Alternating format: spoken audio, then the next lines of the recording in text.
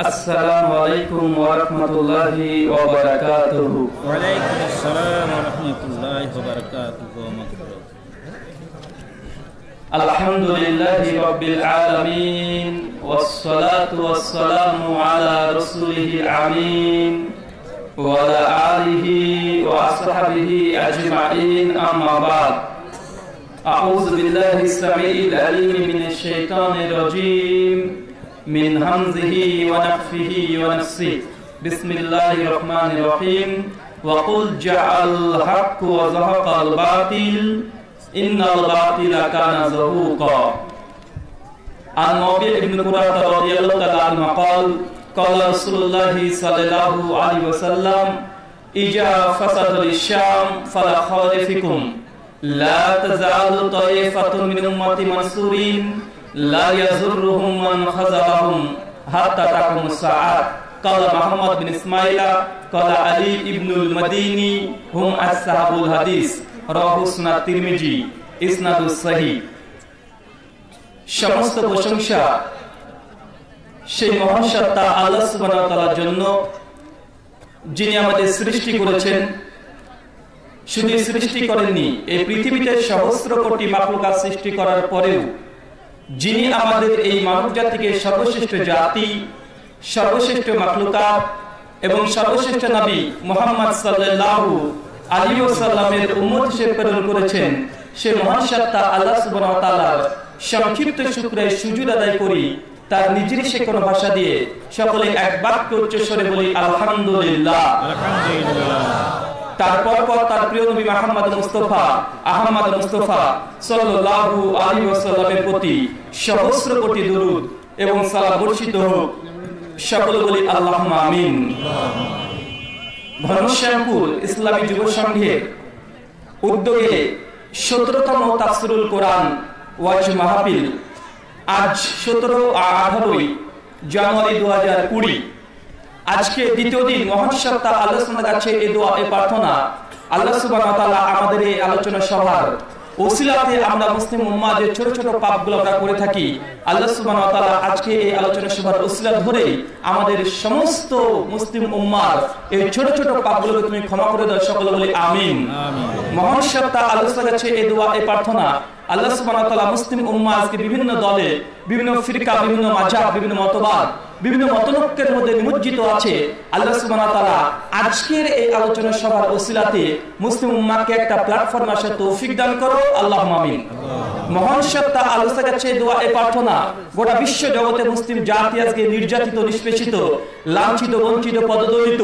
এমনকি আমি যে দেশে বাস করি ভারতবর্ষ সে দেশেও আজকে বর্তমান প্রেক্ষাপটে মুসলিম জাতি সবচেয়ে বেশি নির্যাতিত। আল্লাহ সুবহানাহু ওয়া তাআলা আজকে এই আলোচনা সভার ওসিলাতে আমাদের ভারতবর্ষের মুসলিমদেরকে একটা শক্তি এবং গায়ের মদত দিয়ে সাহায্য এবং সহযোগিতা করো করো সকল বলি আমিন। যাই হোক আজকে বাংলাদেশে সফরে প্রথম প্রোগ্রাম আপনাদের এইটা। মানে এই যে আজকে দ্বিতীয় সফর আমি করলাম মানে দু হাজার প্রথম সফর আপনাদের বাংলাদেশে এবং আজকে প্রথম আলোচনা আপনাদের এই রাজশাহী ঘনশ্যামপুর ইসলামী যুব সংঘের উদ্যোগে এই প্রোগ্রামটি। আল্লাহ আমাদের আলোচনা সভাটিকে কবুল করো, সকল বলি আমি আজকে জলসা কর্তৃপক্ষ এই আলোচনা সভাকে কেন্দ্র করে তারা নির্দিষ্ট একটি বিষয় আমাকে বলার জন্য অনুরোধ করেছে। আলোচ্য বিষয়ে তারা যেটা ইঙ্গিত বা পরামর্শ দিয়েছে, আলোচ্য বিষয়, আমরা কেন মুসলিম? আলোচ্য বিষয় কি ভাই? আমরা কেন মুসলিম? আমরা কেন খ্রিস্টান না? আমরা কেন হিন্দু না? আমরা কেন নাস্তিক না? আমরা কেন বৌদ্ধ না? টাইমস অফ ইন্ডিয়া গোটা বিশ্ব জগতের সবচেয়ে সম্প্রচারিত একটা আন্তর্জাতিক লেভেলের পত্রিকা। ভাই নাম শুনেছেন? টাইমস অফ ইন্ডিয়া দু হাজার পনেরো সালের তেরোই অক্টোবর পৃষ্ঠা নাম্বার উনিশ তারা একটা আর্টিকেল ছাপিয়েছিল। তারা বলছে যে গোটা বিশ্ব জগতে কমপক্ষে সাড়ে সাতশো কোটি মানুষ আছে। বা কত কোটি? সাড়ে সাতশো কোটি মানুষ আছে। ভাই আপনারা যে বাংলাদেশে বাস করেন কতজন মানুষ আছেন এখানে? মাত্র সতেরো থেকে আঠারো কোটি। আমি যে দেশে বাস করি ভারতবর্ষ আমাদের ভারতবর্ষে মানুষের সংখ্যা প্রায় একশো পঁয়ত্রিশ থেকে একশো চল্লিশ কোটি আলহামদুলিল্লাহ। আপনারা মাত্র আঠারো কোটি। আমরা কত আছি? একশো একশো চল্লিশ কোটি আলহামদুলিল্লাহ। আর আমাদের একটা প্রতিবেশী রাষ্ট্র সেটা হচ্ছে পাকিস্তান। পাকিস্তানে ইন টোটাল জনসংখ্যা যদি ধরতে যাই, খুব বেশি হলে কুড়ি থেকে বাইশ কোটি। তার মানে বোঝা গেল যে বাংলাদেশে আছে আঠেরো কোটি, পাকিস্তান আছে বাইশ কোটি, ইন টোটাল কত কোটি? চল্লিশ কোটি। আর এই বাংলাদেশ আর পাকিস্তানে যদি মুসলিমদের সংখ্যা গণনা করি, সর্বোচ্চ হবে বত্রিশ থেকে চৌত্রিশ কোটি। আপনারা বাংলাদেশের কমপক্ষে চোদ্দ কোটি আপনারা মুসলিম আছেন। চোদ্দ কোটি মুসলিম আছেন। আলহামদুলিল্লাহ বাংলাদেশ এবং পাকিস্তানে ইন টোটাল মুসলিমের সংখ্যা তিরিশ থেকে বত্রিশ কোটি। আর আমরা ভারতবর্ষে মুসলিমরা সংখ্যালঘু হওয়ার পরেও আমাদের মুসলিমদের জনসংখ্যা প্রায় পঁয়ত্রিশ কোটি। আলহামদুলিল্লাহ। মানে আপনাদের গোটা বাংলাদেশ এই দেশটা মুসলিমের সংখ্যাগরিষ্ঠ তো নাকি ভাই? জি জি। পঁচানব্বই পার্সেন্ট অথবা বিরানব্বই পার্সেন্ট আপনারা মুসলিম। আবার পাকিস্তান আছে, এটা কিন্তু সংখ্যা গরিষ্ঠ একটা মুসলিম দেশ। সেখানে কিন্তু মুসলিমরা বেশি আছে। কিন্তু আমরা ভারতবর্ষে মুসলিমের সংখ্যায় কম হলেও আমরা ইন টোটাল যোগ করলে বাংলাদেশের পাকিস্তানের যতগুলো মুসলিম আছে, তার চাইতে ভারতবর্ষে আমরা মুসলিমরা আমরা বেশি আছি। আরও আশ্চর্য হবেন যে গোটা ভারতবর্ষ, পাকিস্তান, কাশ্মীর, আসাম, এই সমস্ত অখণ্ড ভারতবর্ষ যখন ছিল, সেই সময় ক্ষমতায় কারা ছিল ভাই? আমরা মুসলিমরা এই অখণ্ড ভারতবর্ষকে আমরা মুসলিমরা কমপক্ষে আটশো বছর শাসন করেছি। কত বছর?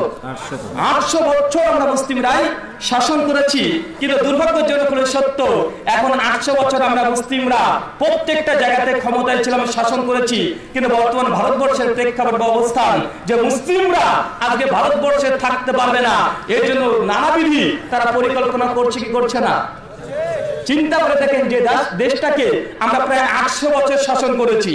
মুর্শিদাবাদের হাজারদুয়ারি থেকে শুরু করে একদম ভারতবর্ষের প্রধানমন্ত্রী যেখানে বাস করে দিল্লির লালকেলা পর্যন্ত প্রত্যেকটা জায়গাতে মুসলিমদের ছোঁয়া একদম রন্ধে রন্ধে প্রবেশ করে আছে। এমনকি ভারতবর্ষের যে পতাকা, যেটা তিরাঙ্গা কালার আপনারা দেখেছেন, ভাই, এই রংটাও দিয়েছে একজন মুসলিম এটা নির্বাচন করেছে মুসলিম। তারপরে গোটা ভারতবর্ষে আজকে দেখেন যে মুসলিমদের ওপরে তারা ভারতবর্ষে থাকতে দেবে না, নানাবিধি পরিকল্পনা হচ্ছে কি হচ্ছে না? হচ্ছে কেন? কারণ একটাই যে আমরা মুসলিম। আমরা মুসলিম। আমরা এক আল্লাহকে বিশ্বাস করি। আমরা বিশ্বনবী মোহাম্মদ সাল্লাল্লাহু সাল্লামের আনুগত্য আদর্শকে গ্রহণ করেছি। এটাই আমাদের অপরাধ। অন্য কোনো অপরাধ দিয়ে তারা আমাদেরকে দেশ থেকে বের করছে এমনটা নয়। শুধু এমনটাই নয় যে ভারতবর্ষের যত ইতিহাস দেখেন, সমস্ত ইতিহাস মক্কা থেকে হিজরত কেন করতে একটাই কারণ যে তিনি কালেমার দাওয়াত দিয়েছিলেন। যতদিন কালেমার দাওয়াত দেননি, ততদিন নিজ বাসভূমিতে তিনি বসবাস করতে পেরেছেন কি পারেন নাই? পেরেছে। যখনই কালেমার দাওয়াত দিয়েছে, তখনই মক্কা থেকে মদিনায় তাকে হিজরত করতে হয়েছে।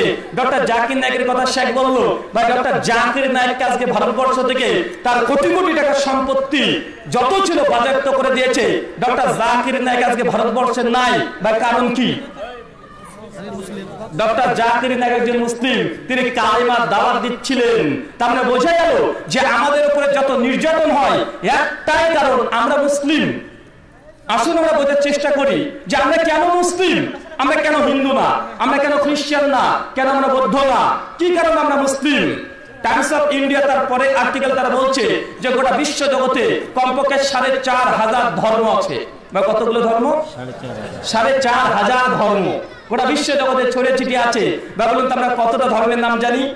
হিন্দু, মুসলিম, বৌদ্ধ, জৈন, ইহুদি, খ্রিস্টান, খুব বেশি পনেরো থেকে বিশ খানা আমরা ধর্মের নাম জানি। কিন্তু গোটা বিশ্ব জগতে চার থেকে সাড়ে চার হাজার ধর্ম এখনও বিদ্যমান। এই সমস্ত ধর্মের অনুসারীদের কমন তিনটে মতবাদ আছে। কয়টা? তিনটা। প্রত্যেকটা ধর্মের অনুসারী মনে করে যে তাদের ধর্মটা সঠিক, বাকি সমস্ত ধর্ম ভুল। এখন একটা হিন্দুর ঠাকুরের কাছে যান, গিয়ে বলুন যে, ঠাকুর মশাই, আমরা তো মুসলিম, আমরা প্রতিদিন পাঁচ ওয়াক্ত নামাজ পড়ি, আমরা রামাজান সিয়াম রোজা পালন করি, আমরা লক্ষ লক্ষ টাকা মানুষকে জাকাত দিই, আমরা হজ করি, মানুষকে দান সাদগা ফিতরা, অনেক কিছু করি। তো ঠাকুর মশাই বলুন তো, আমরা মুসলিমরা কি? আমরা কখনো আপনাদের স্বর্গে যেতে পারব? বা ঠাকুর মশাই কি উত্তর দেবে বলেন তো? কোন ঠাকুর মশাইকে যদি আমরা বলি যে ঠাকুর মশাই আমরা মুসলিমরা কি জান্নাত যেতে পারব? মানে আপনাদের স্বর্গে যেতে পারব? একজন হিন্দু ঠাকুর নিঃসন্দেহে তিনি বলবে যে, কোনো মুসলিম তোমরা কখনোই সর্বতরা জান্নাত যেতে পারবে না। কেন? কেননা তারা বিশ্বাস করে যে, তাদের ভগবানকে জবাই করে আমরা মুসলিমরা খাই।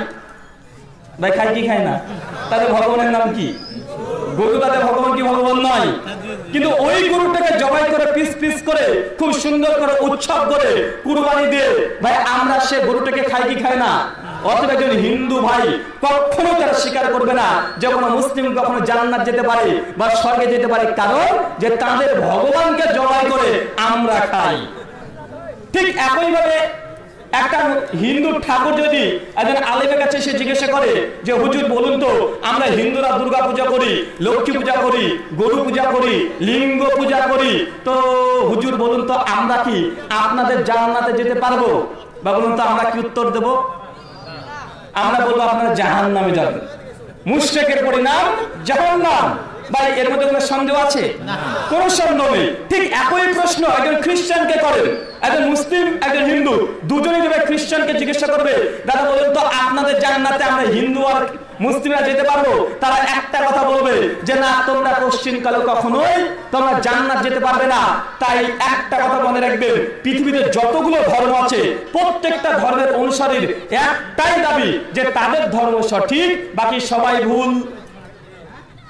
প্রত্যেকটা ধর্মের দাবি একটাই, যে আমাদের ধর্ম ঠিক বাকি সমস্ত ধর্ম ভুল। ভাই, মনে রাখবেন একটা হিন্দু ঠাকুর বা হিন্দু ভাইরা যেমন দুর্গা পূজা লক্ষ্মী পূজা কালী পূজা সরস্বতী পূজা করে, ভাই, তারা কি জাহান নামে যাওয়ার জন্য করে? না। তাদের উদ্দেশ্য কি? তাদের উদ্দেশ্য একটা ঈশ্বরের সন্তুষ্টি, তার বিনিময় জান্নাত। শুধু আমাদের পশ্চিম বাংলা রিপোর্ট আমাদের গোটা ভারতবর্ষ কত বড় আপনি হিসাব করতে পারবেন না। তবে মনে রাখেন আপনাদের বাংলাদেশ যত বড়, আমাদের একটা রাজ্য পশ্চিম বাংলা যদি গোটা বাংলাদেশের সমন্বয় করতে যায়, একদম সেম সেম হয়ে যাবে। কত বুঝাতে পারি মানে আপনাদের গোটা বাংলাদেশ তো জেলাতে বিভক্ত আছে আছে না ভাই? জেলা। আর আমাদের রাজ্যের মধ্যে কমপক্ষে কুড়ি থেকে চব্বিশটা করে জেলা থাকে। মানে একটা রাজ্য যখন বলব, তখন আপনাকে বুঝে নিতে হবে রাজ্যের মধ্যে কমপক্ষে কুড়ি থেকে চব্বিশটা জেলা আছে স্বতন্ত্র। আর একটা জেলা থেকে আরেকটা জেলার দূরত্ব কমপক্ষে দুইশো থেকে আড়াইশো কিলোমিটার।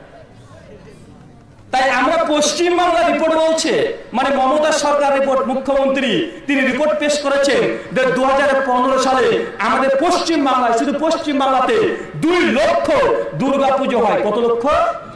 দুই লক্ষ মণ্ডপ হয়। তাদের দাবি মমতা সরকার তারা রিপোর্ট পেশ করছে। তারা বলছে, আমাদের পশ্চিম বাংলাতে যদি শুধুমাত্র দুই বছর না, এক বছর যদি আমরা দুর্গা পুজো বন্ধ করে দিই দুর্গা পুজোকে যদি বন্ধ করে দিই, তো দুই বছর গোটা পশ্চিম বাংলার যত মানুষ আছে, তাদেরকে সরকার বসে খেতে দেবে। সরকারের এক চির টাকা পয়সায় ঘাটতি হবে না।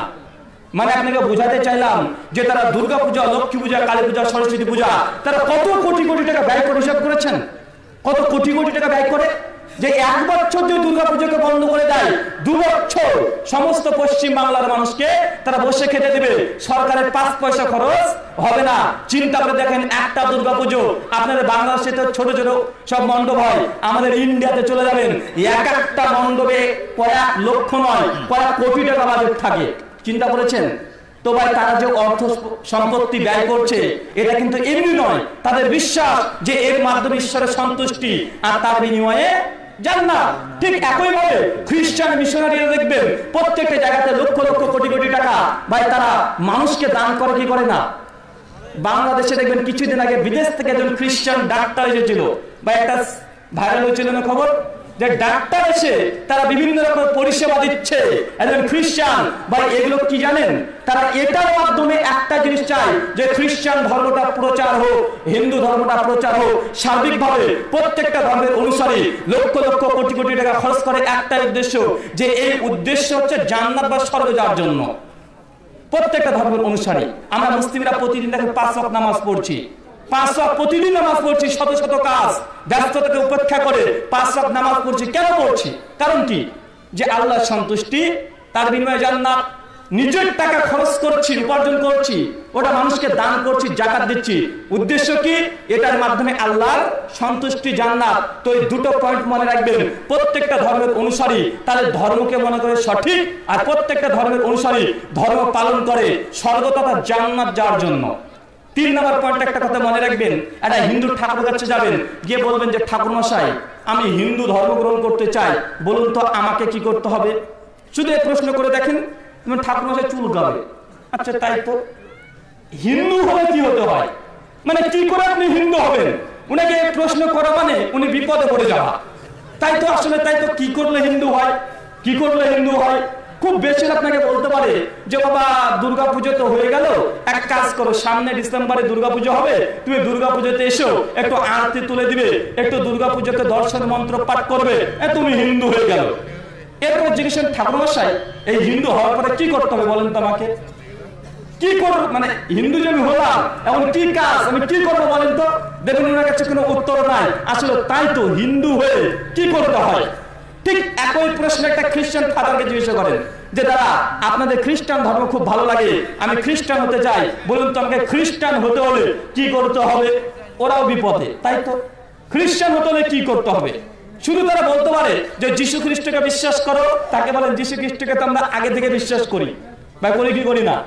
যিশু খ্রিস্টকে আমাদের নবী হযরত ঈসা আলাইহিস সালাম, তাকে বিশ্বাস করি কি করি না? করি। খুব বেশি বলতে পারে যে তোমরা বিশ্বাস করতে হবে যীশু খ্রিস্ট কোন পুরুষের হস্তক্ষেপ ছাড়াই একজন কুমারী মায়ের গর্ভে জন্মগ্রহণ করেছে, এটাকে বিশ্বাস করতে হবে। তাকে পাল্টা বলেন, এটাও তো আমরা বিশ্বাস করি। বা করি কি, করি না? তারপরে বলতে পারে যে যীশু খ্রিস্ট যেমন তেমন মানুষ নাই, একজন আলাদা মানুষ যে মৃত মানুষকে তিনি জীবিত করতে পারতেন। আল্লাহর আদেশে এটাকে বিশ্বাস করো বা আমরা মুসলিমরা বিশ্বাস করি কি করি না? তাহলে তারা যেটা বিশ্বাস করতে বলবে খ্রিস্টান ধর্ম গ্রহণ করার জন্য বা আগে থেকে আমরা বিশ্বাস করি কি করি না? তারপরে বলতে পারে যে যীশু খ্রিস্ট পৃথিবীতে আবার আসবে শান্তি প্রতিষ্ঠার জন্য। এটাকে বিশ্বাস করো বা আমরা মুসলিমরা বিশ্বাস করি কি করি না? করি যে তিনি আসবেন। তো তাকে প্রশ্ন করে, আপনি ফ্যাসাদে ফেলে দিতে পারেন। যে আসলে বলুন তো, খ্রিস্টান হতে হলে কি করতে হবে? হিন্দু হতে হলে কি করতে হবে? মনে রাখবেন, পৃথিবীতে যতগুলো ধর্ম আছে, যতগুলো ইজাম আছে, যতগুলো দর্শন আছে, প্রত্যেকটা ইজাম প্রত্যেকটা দর্শন, প্রত্যেকটা ধর্ম চলে। একটা জিনিস উপরে ভিত্তি করে সেটা বিশ্বাস। কি বললাম? বিশ্বাস। আপনি মনে করছেন আপনি হিন্দু, তো আপনি হিন্দু। আপনি মনে করেন আপনি খ্রিস্টান, তো আপনি খ্রিস্টান। কিন্তু ইসলাম শুধু বিশ্বাসের নাম নয়। ইসলাম বিশ্বাসের নাম নয়। ঠিক একটা হিন্দু যদি আমাদের সাহেবের কাছে চলে আসে বলছে মৌলভী সাহেব, আমি ইসলাম কবুল করতে চাইছি, বলুন তো কি করতে হবে? যখনই এই মেসেজটা কর্মে চলে আসবে সঙ্গে একজন আলেম, একজন মৌলানা বলবে, আলহামদুলিল্লাহ। বা বলবে কি বলবে না? দেখেন মুখ থেকে বলেছে যে ইসলাম কবুল করতে চাই প্রথমে আলহামদুলিল্লাহ। বা মুখ থেকে বলবে কি বলবে না? হান্ড্রেড পার্সেন্ট বলবে। তারপর জিজ্ঞাসা যে ভাই আপনি কেন ইসলাম কবুল করতে চাইছেন? আপনাকে কেউ জোর করছে? কেউ টাকা পয়সা লোক দেখাচ্ছে? কোন মেয়েকে ভালোবাসেন? এই জন্য কি আপনি ইসলাম কবুল করতে চাইছেন? বা প্রশ্ন করবে কি করবে না? অবশ্যই তাকে প্রশ্ন করবে। যখন দেখবে না সে ইসলামের প্রতি আগ্রহ আবেগ আছে এই জন্য ইসলাম কবুল করছে। তারপর সে যুবককে সর্বোচ্চ বলতে যাও তুমি গোসল করে আসো গোসল করে এসে অথবা না করে তাকে কালেমাই শাহাদাত পাঠ করিয়ে দেবে। আর যখনই কালেমাই শাহাদাত পাঠ করছে, হচ্ছে বারোটা পনেরো মিনিট। কয়টাই বারোটা পনেরো মিনিট। মাত্র পনেরো মিনিট পর কালেমাই শাহাদাত পাঠ শেষ, কিছু নসিয়া করছে। আর মসজিদ থেকে আজান আসছে। আল্লাহ আকবার, আল্লাহ। ভাই, বলুন তো এখন এই ব্যক্তির উপরে কি ফরজ? দেখেন, এটা হচ্ছে ইসলাম। এই কালেমা পাঠ করার আগে তারপরে যদি এক আধ কোটি আজান পড়তো মানে নামাজ ফরজ ছিল? দেখেন, কেবলই পাঠ করেছে আশাদ ইল্লাল্লাহ। যখন এই কালেমা পাঠ করেছে, আর সঙ্গে সঙ্গে চলে এসেছে হাইয়া আলাস সালাহ। নামাজের জন্য এসো। বলুন তো এই ব্যক্তি যে এখন ইসলাম কবুল করল তাহলে নামাজটা ফরজ কি ফরজ নয়। নামাজটার সঙ্গে সঙ্গে তাকে পড়তে যেতে বাধ্য কি বাধ্য নয়? অবশ্যই বাধ্য। নামাজ পড়ে এসেছে জোহরের নামাজ একটু নিজের মতো কাজ করতে শুরু করেছে। একটু আবার আসরের আবার আজান। বা তারপরে আসর আসরের নামাজ ফরজ কি ফরজ নয়? আসরের নামাজ পড়েছে একটু আবার মাগরিব আবার একটু কাজ করেছে একটু আবার ঈশা আবার একটু ঘুমিয়ে রাত্রে তাহাজ্জুদ আবার একটু ঘুমিয়ে আবার ফজর আবার পরের দিন জোহর। মানে ইসলাম তার মানে একটা বাইন্ডিং হয়ে গেল। চব্বিশ ঘণ্টা আপনাকে বেঁধে দিল কিসে? আল্লাহ ওয়া বিধানে। তাই পৃথিবীর সমস্ত ধর্ম দেখবেন তারা ধর্মে আছে শুধু বিশ্বাস কিন্তু ইসলাম তিনটে জিনিসের নাম। কয়টা? তিনটা। তিনটা। এক অন্তর দ্বারা বিশ্বাস মুখ দ্বারা স্বীকৃতি আর অঙ্গ প্রত্যঙ্গ দিয়ে বাস্তবায়ন করা। পৃথিবীতে যতগুলো ধর্ম আছে, দুটো জিনিস নাই।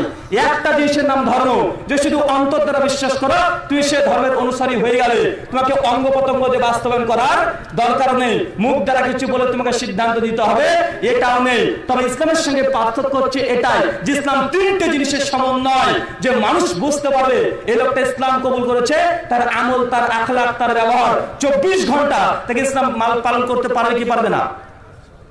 একজন হিন্দু, আমার এক ড্রাইভার ছিল এর আগে। তো সে ড্রাইভার দাদাকে বলছি যে, দাদা, আপনারা যখন পানি পান করেন, পানি খান, তখন হিন্দু ধর্ম অনুসারে কটা বিধান আছে? বলছে, পানি, জল খাব এটা বিধানের কি আছে? বলছে, জল খাবে, তো বিধানের কি আছে? আছে কেন বিধান নেই? বলছে, না, কোনো বিধান নেই, জল তৃষ্ণা পেয়েছে, খেতে হবে। আজ ইসলাম হচ্ছে এমনই একটি ধর্ম। এক গ্লাস পানি পান করতে হলেও পাঁচ থেকে সাতখানা বিধান লাগে, বা লাগে কি লাগে না? লাগে। যদি দাঁড়িয়ে থাকেন বসতে হবে এক, দুই, ডান হাত দিয়ে খেতে হবে, তিন, খাবার পূর্বে বিসমিল্লা বলতে হবে, চার, পানি যখন পান করছেন তিনটা শ্বাসে খেতে হবে পাঁচ, খাবার শেষে আলহামদুলিল্লাহ পাঠ করতে হবে। ছয় হিলান দিয়ে খাওয়া যাবে না, শুয়ে থেকে খাওয়া যাবে না।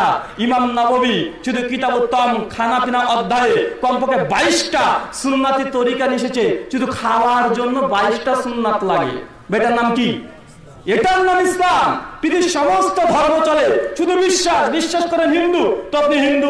আপনি খ্রিস্টান তো আপনি খ্রিস্টান। ইসলাম এমনই একটি ধর্ম যে চব্বিশটা ঘণ্টা এটা আল্লাহর কাছে আত্মসমর্পণ করতে হবে। মুসলিম মানে কি? আত্মসমর্পণকারী। আত্মসমর্পণ কার কাছে? আল্লাহর কাছে। যখন আপনি কালেমা পাঠ করেছেন, তখন আপনার নিজের ইচ্ছে মতো কোনো কিছু আর চলবে না। এটা ইসলাম। এখন আসেন। যে আমরা যে মুসলিম, আমরা কেন মুসলিম? বা আপনাদেরকে প্রশ্ন করছি যে আপনি যে ইসলাম পালন করেন মুসলিম, কেন মুসলিম? কি যুক্তি আছে, কি প্রমাণ আছে? বলুন তো ভাই, কথা বলেন। কেন আপনি মুসলিম? উত্তর দেন ভাই। জি, কালিমা পাঠ করেছেন? মুসলিমের ঘরে জন্মগ্রহণ করেছেন, তাই মুসলিম। মানে আপনি বাই চান্স মুসলিম। বাই চুজি নয়। মানে যদি আপনি হিন্দু ঘরে জন্মগ্রহণ করতেন, আপনি হিন্দু হতেন। যদি আপনি খ্রিস্টান ধর্মে, খ্রিস্টান পরিবারে জন্মগ্রহণ করতেন, আপনি খ্রিস্টান হতেন? তাহলে বাই চান্স মুসলিম, ভাগ্যিস আল্লাহ আমাদেরকে মুসলিম পরিবারে জন্ম দিয়ে দিয়েছে এই জন্য মুসলিম। ভাই, এটা কি একটা সঠিক একটা উত্তর হলো? এত হিন্দু দ্বারা তো বলবে যে আমি হিন্দু যেহেতু আমি হিন্দু পরিবারে জন্মগ্রহণ করেছি আমার বাপ দ্বারা পূর্বপুরুষ তারা হিন্দু তার জন্য আমি হিন্দু একজন অমুসলিম হিন্দুকে আপনি কীভাবে বুঝাবেন? একজন খ্রিস্টানকে কীভাবে বুঝাবেন? যে আমরা যে মুসলিম আমাদের ধর্ম শ্রেষ্ঠ ধর্ম আমাদের ধর্মই আল্লাহ কাছে গ্রহণযোগ্য বাকি কোনো ধর্ম গ্রহণযোগ্য নয় বা অমুসলিমকে বুঝাতে হবে কি হবে না? আপনারা বাংলাদেশি মানুষ, আপনারা হয়তো এই প্রশ্নের সম্মুখীন হন না, কিন্তু আমরা প্রত্যেকটা পদে পদে ঘাটে ঘাটে আমাদেরকে প্রমাণ দিতে হয় অমুসলিমদেরকে। কেন? কারণ আমরা যেখানে বাস করি এইটটি ফাইভ পার্সেন্ট হচ্ছে অমুসলিম। পঁচাশি পার্সেন্ট যে দোকানে কিনতে যাই ওটা অমুসলিম। আমরা যেখানে পড়াশোনা করেছি সেভেন্টি থেকে এইটটি পার্সেন্ট মানুষ সবই অমুসলিম। বন্ধু বলেন আর বান্ধবী বলেন প্রত্যেকটা জায়গায়। তো আমরা যখন দাওয়াত দিতে যাই, তখন আমাদেরকে তারা একটা প্রশ্ন ছুড়ে দেয় যে তোমরা মুসলিম, কেন মুসলিম? কেন তুমি হিন্দু না? কেন তুমি খ্রিস্টান না? ভাই তাকে কি বলে উত্তর দেবেন বলেন তো? কীভাবে বুঝাবেন? কীভাবে বুঝাবেন? যে আমি মুসলিম কেন? আসেন আমরা আপনাকে এটা প্রমাণ করার চেষ্টা করি যে আমরা যে মুসলিম কেন মুসলিম আমরা? ভাই শুনতে রাজি আছেন? কারা কারা শুনবেন না তোলেন যারা যারা শুনবেন। মানে আপনারা বুঝতে ভুল করছে। কিছু কিছু মানুষ আমাদের কথা বুঝতে পারেননি তাই মানে চেক করে নিলাম যে আমার কথা কতজন শুনছেন না কতজন শুনছেন না। তো কিছু কিছু মানুষ মানে ঝুলে হাত তুলে নামিয়ে নিয়েছে। তো যাই হোক আলহামদুলিল্লাহ যে আপনাদের কনসেন্ট্রেট আমাদের দিকে আছে অধিকাংশ মানুষের। তো মাঝে মাঝে আমরা স্লিপ অফ টাং বলে ফেলি আমরা শুনেও থাকি। তো আমরা যে মুসলিম আমরা কয়েকটা যুক্তির আলোকে প্রমাণ করব তারপরে ধর্মগ্রন্থের আলোকে। কেন? যদি বলি আমি মুসলিম, আমাদের ধর্ম সঠিক বা আমরা মুসলিম, আমরা তো নিজের ধর্মকে সঠিক বলবোই। বলব কি বলব না? একজন হিন্দু বললে তাদের ধর্ম সঠিক। কেন?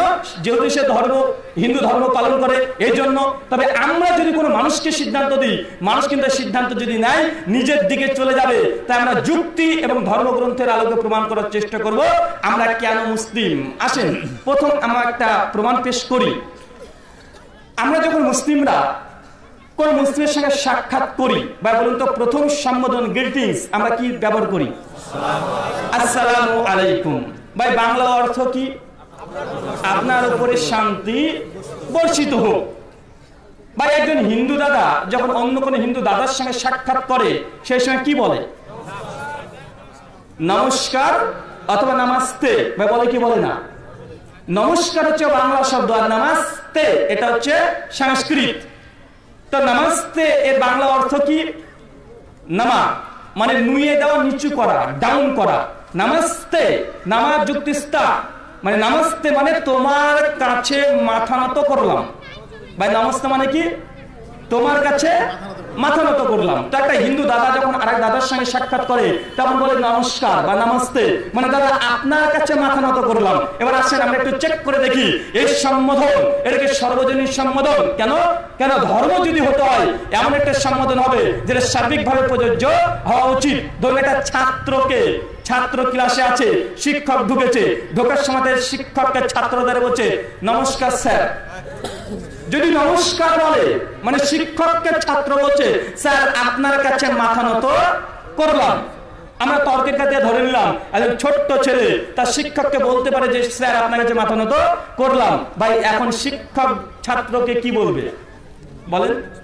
শিক্ষক কি বলবে? যে তোকে নমস্কার।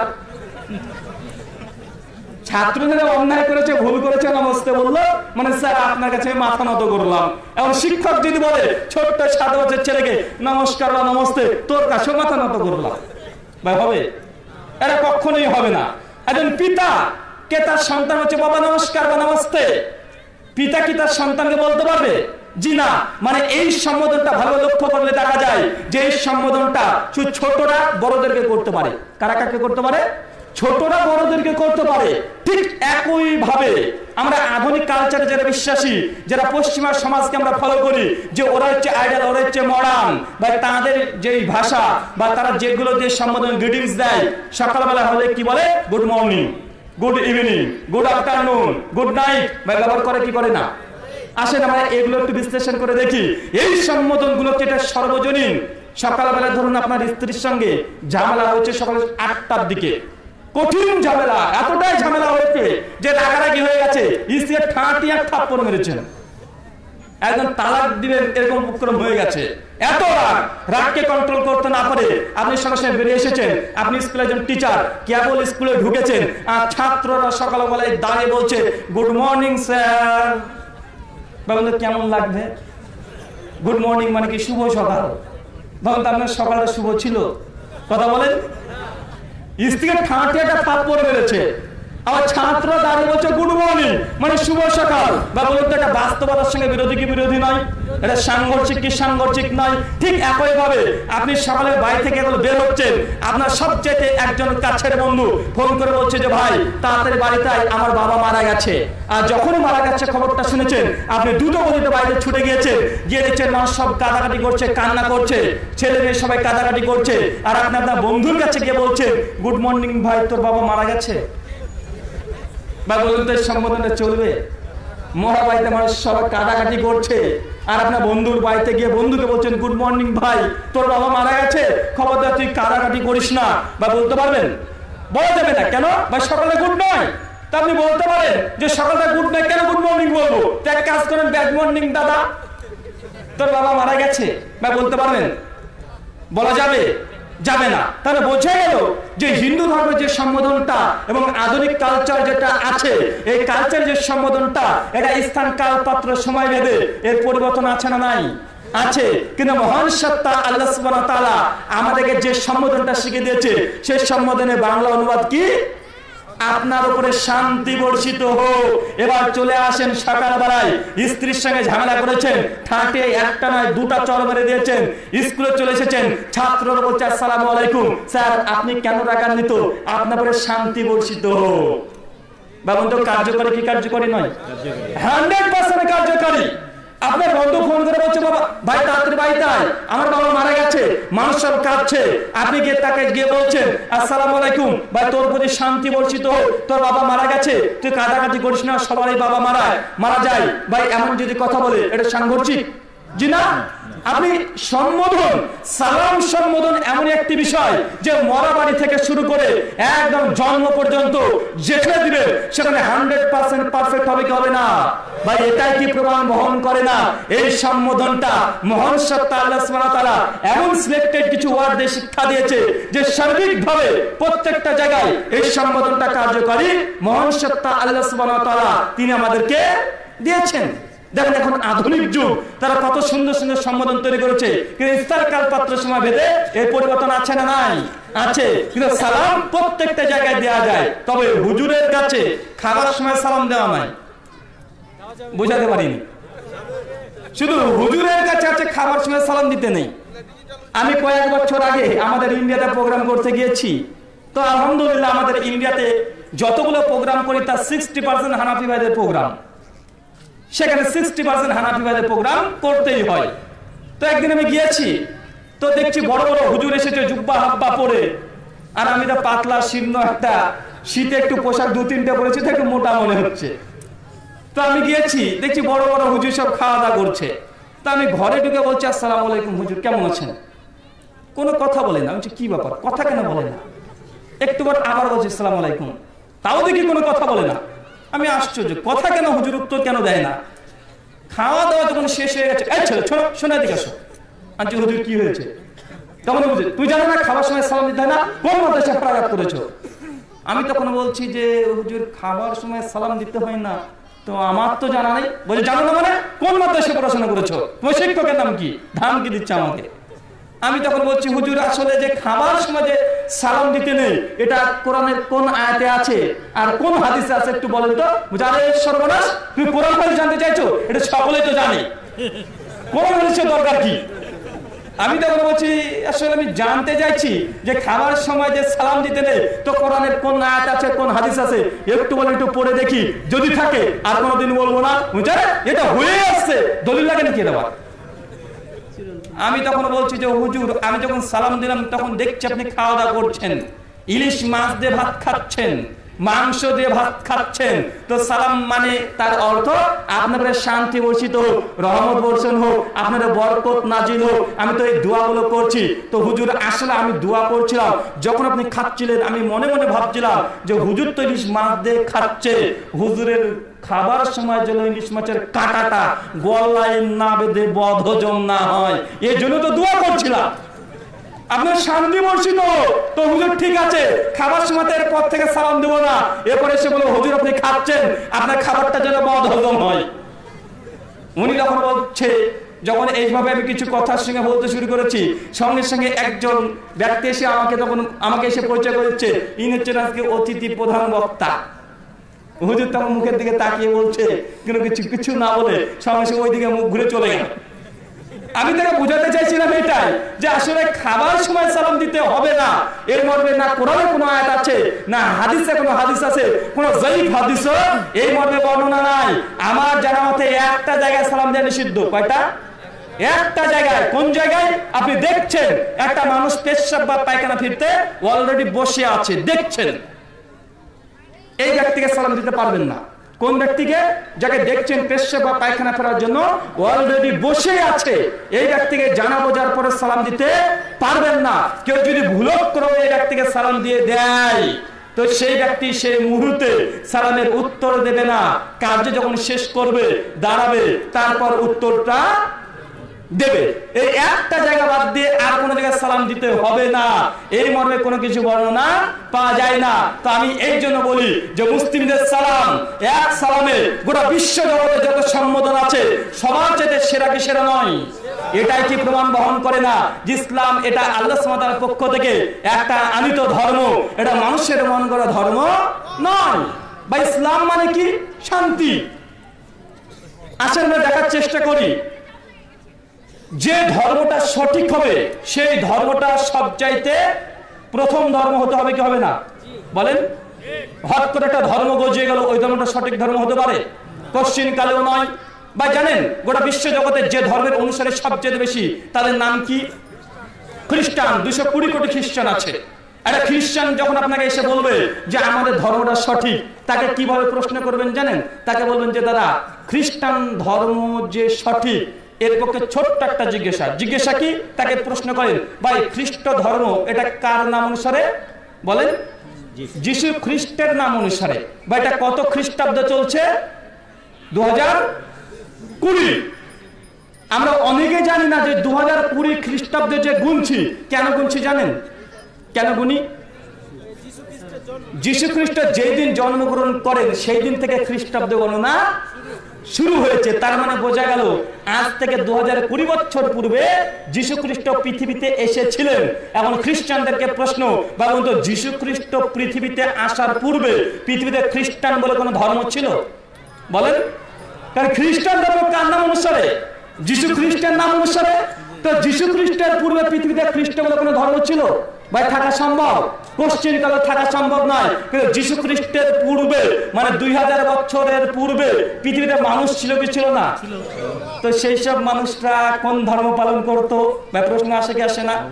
সেই সব মানুষ যিশু খ্রিস্টের জন্মের আগে যে মানুষগুলো পৃথিবীতে জন্মগ্রহণ করেছিল তারা কোনো ধর্ম পালন করতো কি করতো না? এক। দুই তারা কোথায় যাবে? জান্নাতে যাবে না জাহান নামে যাবে? বা প্রশ্ন আসে কি আসে না? অবশ্যই আসে তার মানে বোঝা গেল খ্রিস্টান ধর্মটি, এটা মাত্র দু হাজার বছর পূর্বে এসেছে, তার আগের মানুষের কোনো সিদ্ধান্ত দেওয়া সম্ভব নয় যে তারা জান্নাতে যাবে না জাহান নামে যাবে। মানে দু হাজার বছর পূর্বের ধর্ম, বা এটা সঠিক ধর্ম হতে পারে? কখনোই নয়। ঠিক একই ভাবে হিন্দু ভাইরা বলতে পারে, আমাদের ধর্ম সনাতন ধর্ম, আমাদের ধর্ম প্রাচীন ধর্ম, অনেক নতুন ধর্ম, আমাদের ধর্মটাই সঠিক, বা তা দাবি করতে পারে কি পারে না? পারে, তবে মনে রাখবেন হিন্দু ধর্মটি এটা সমস্ত মানুষের জন্য নয়। এটা বাংলাদেশের জন্য হিন্দু ধর্ম নয়। এটা আমেরিকাবাসীর জন্য হিন্দু ধর্ম নয়। হিন্দু ধর্ম কাদের জন্য জানেন? যারা শুধু ভারতবর্ষে বাস করে, তাদের জন্য হিন্দু ধর্ম। বা এটাকে আমার কথা? জি নয়। তাদের ধর্মগ্রন্থে স্পষ্ট লেখা আছে। মন্ত্র শ্রীমৎ ভাগবত গীতা। নাম শুনেছেন? হিন্দুবাদের ধর্মগ্রন্থের নাম কি? গীতা বেদ, রামায়ণ, মহাভারত, পুরাণ, উপনিষদ, মনুস্মৃতি অসংখ্য আছে। তার মধ্যে যেটা সবচেয়ে বেশি পাঠ করা হয়, তার নাম হচ্ছে শ্রীমৎ ভাগবত গীতা। আঠারো খানা অধ্যায় আছে সাতশো খানা মন্ত্র আছে। এই শ্রীমৎ ভাগবত গীতা অধ্যায় চার, কত বললাম? চার নম্বর অধ্যায়, সাত আর আট নম্বর মন্ত্র। চার অধ্যায়, সাত আর আট নম্বর মন্ত্রে দুটো মন্ত্র পরিষ্কার বলছে দেখেন কীভাবে। মন্ত্র বলছে দেখেন। यदा यदा हि धर्मस्य ज्ञानाति भावति भारत अभ्युत्थानं धर्मस्य तद् आत्मानं सृजामि अहं परित्राणाय साधूनां विनाशाय दुष्कृतं धर्म संस्थापर्थानाय সম্ভাবমি युगे युगे কি ভাবছেন যে ভারত থেকে কাকে ধরে নিয়ে আসলাম? ঠাকুর মশাই না মৌলী সাহেব? যে মন্ত্র পাঠ করছে। মন্ত্র বলছে ইয়াদা ইয়াদা হি ধর্মস্যে। যখন ধর্মের মধ্যে অধর্ম নেমে আসে মানুষ পাপ অন্যায়, অত্যাচারের মধ্যে আবদ্ধ হয়ে যায়, নিমজ্জিত হয়ে যায়, ইয়াদা ইয়াদা হি ধর্মস্যে গ্রনাতি ভাবাতি ভারতা। ভাই, এই গ্লানি কোথায়? গ্লানাতি ভাবাতি ভারতা যখন ভারতের মধ্যে অধর্ম নেমে আসে, তখন ঈশ্বর কি করে? তাদের আত্মা নাম সৃজামি অহম। তাদের মানে উসিবাত। ওই সময় সৃজামি মানে সৃষ্টিকারী, অহম মানে আমি ঈশ্বর। কেন? পরিত্রাণায় সাধু নাম ভালো মানুষদের রক্ষা করতে বিনাশা চাই দুষ্কৃতম। আর খারাপ মানুষকে ধ্বংস করতে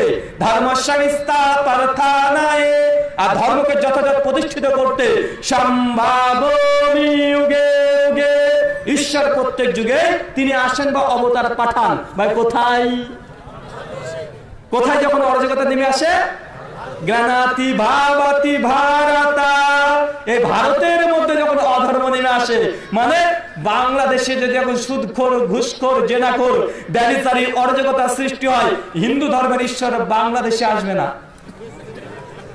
আমেরিকাতে যদি হয়, আসবে না আসবে। না, কোথায় ভারাতা। এই ভারতের মধ্যে যখন অধর্ম নেমে আসে, ঈশ্বর তখনই আসে শত্রু ধ্বংস করতে ভালো মানুষকে রক্ষা করতে, ধর্মকে প্রতিষ্ঠিত করতে। তবে বলুন তো, যে ধর্মটি একটা স্থান ভিত্তিক, একটা দেশ ভিত্তিক, এই ধর্মটা সমগ্র মানুষ জাতির মুক্তির পথ হতে পারে?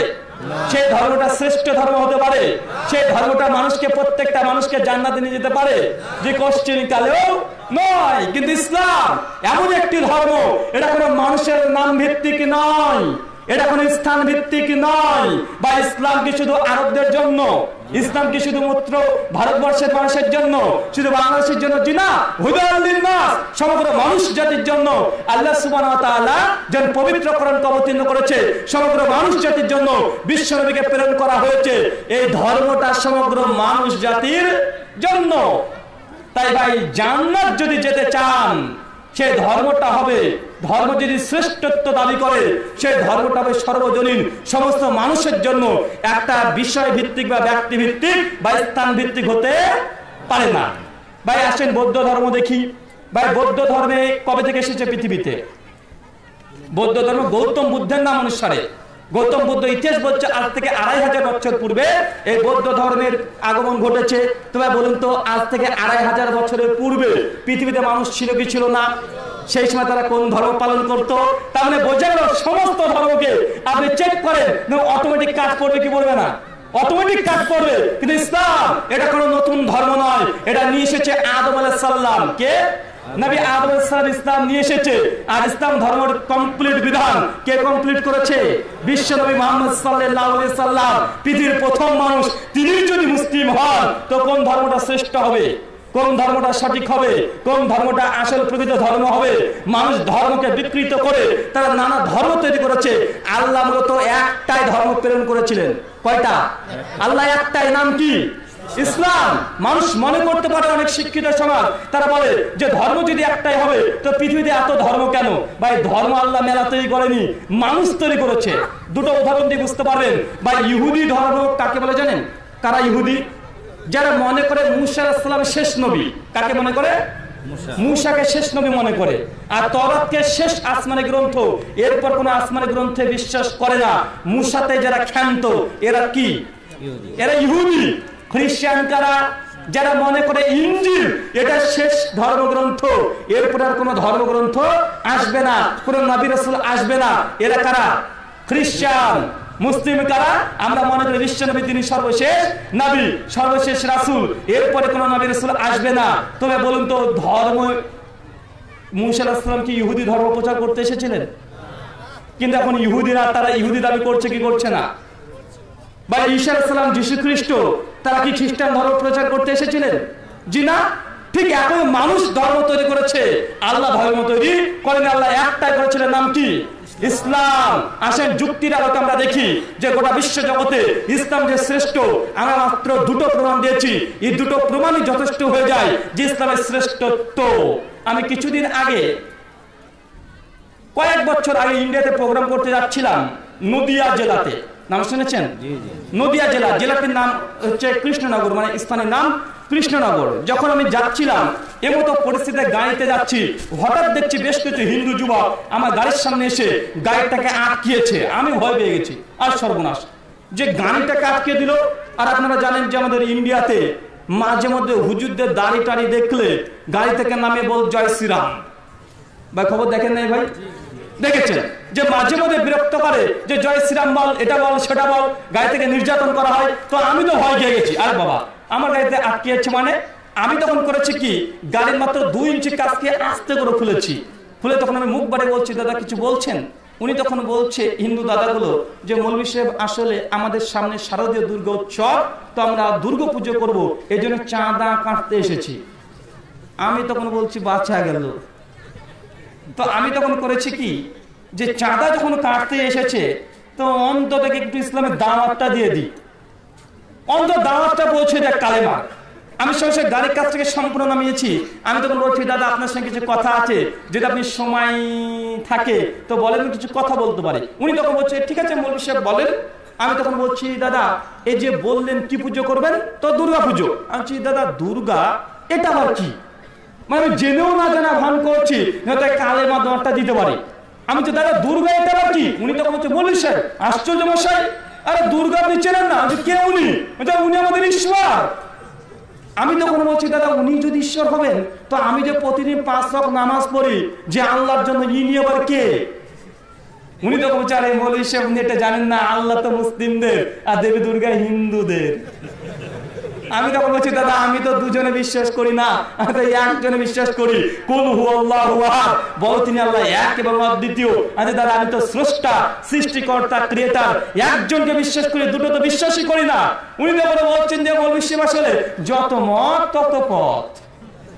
উনি আমাকে রামকৃষ্ণ, তার একটা কথা, প্রচলিত একটা কথা তিনি শুনিয়ে দিলেন যে, দাদা, যত মত তত পথ। আছে দাদা, যত মত তত পথ হতে পারে, তো সত্য পথ, সঠিক পথ একটাই হবে অসংখ্য নয়। উনি ব্যাপার বলছে, বলবি সে যাই হোক। তো বলি, সে বলেন, কত টাকা কাটবো? যে, কলম ধরেছে। আমি তখন বলছি যে, দাদা, কিছু কথা বলতে চাই। বলছে, ঠিক আছে, বলুন। তো আগে কত টাকা কাটবো একটু বলুন। আচ্ছা একটু পরে বলছি, তো কিছু আগে কথা শেয়ার করতে চাই। আমি তখন বলছি যে, দাদা, আপনি যে বললেন দেবী দুর্গা ভগবান তো এর পক্ষে কি কোনো প্রমাণ আছে আপনার কাছে যে দেবী দুর্গা ভগবান, উনি আরও আশ্চর্য? যে বলেন কি? আর দেবী দুর্গা ভগবান এর যে প্রমাণ লাগে নাকি? আচ্ছা প্রমাণ লাগবে না মানে? অবশ্যই প্রমাণ লাগবে।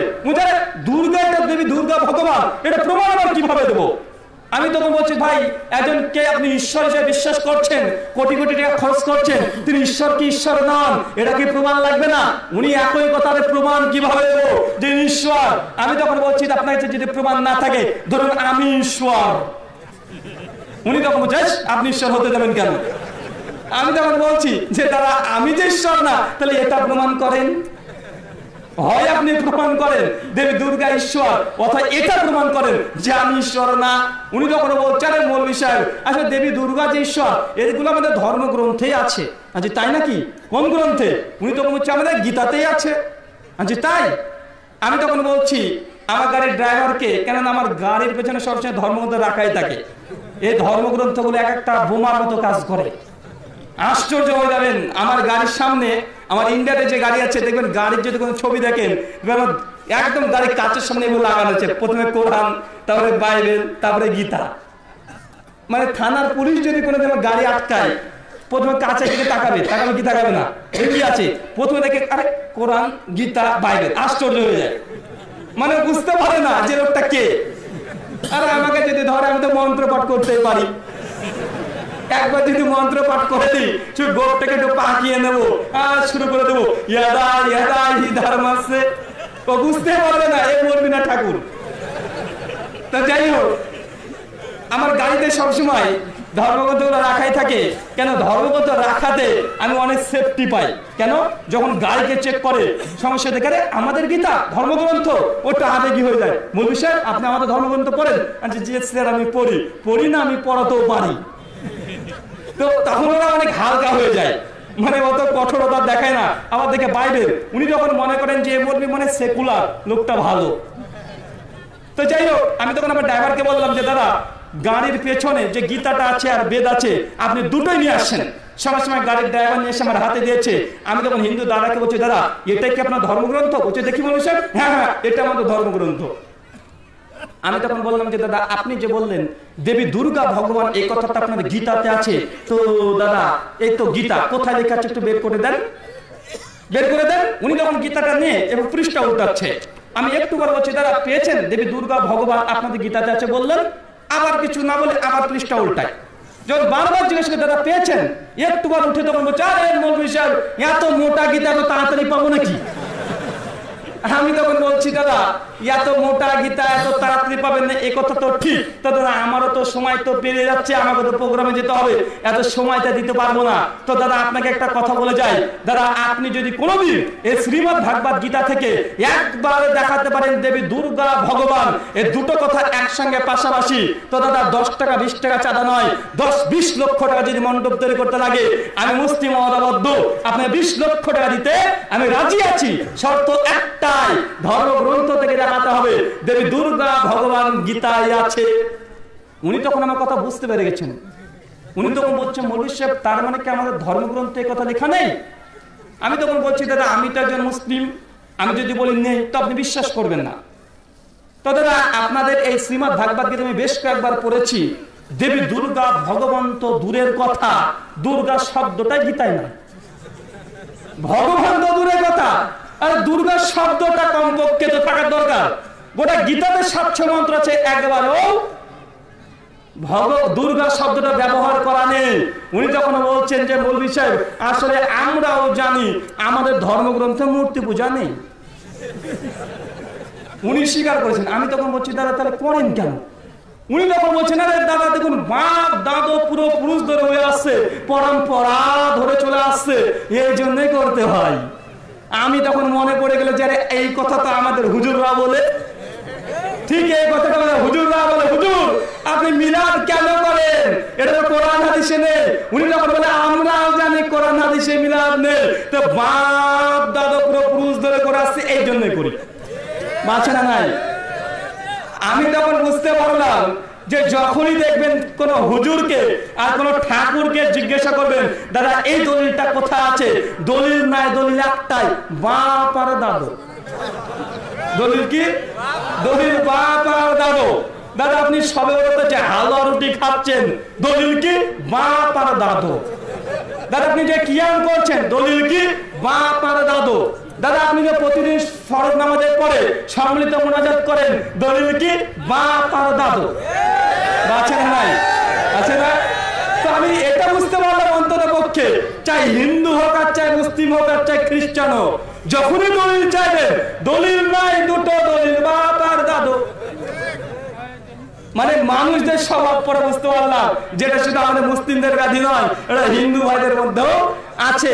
তখন তারা তখন বলছে যে মৌলভী সাহেব, বলেন, কত টাকা কাটবো? অন্তত দশ টাকা দেন। মানে উনি আমাকে ছাড়েননি এখনও। দশ টাকা দেন। আমি তখন বলছি যে, দাদা, সে যাই হোক, আমি তো অনেক লম্বা সময় ধরে যাব। তো দাদা আর একটা কথা বলতে চাই। তারপরে আপনার সঙ্গে একটু কথা আমি দিচ্ছি। উনি তখন বলছে, ঠিক আছে মৌলী সাহেব, বলেন। আরও দশ বারো জন যুবক ভাই দাঁড়িয়ে আছে, ওরা তখন বারবার ফিস করছে মৌলী সাহেব, খুব কিপটা।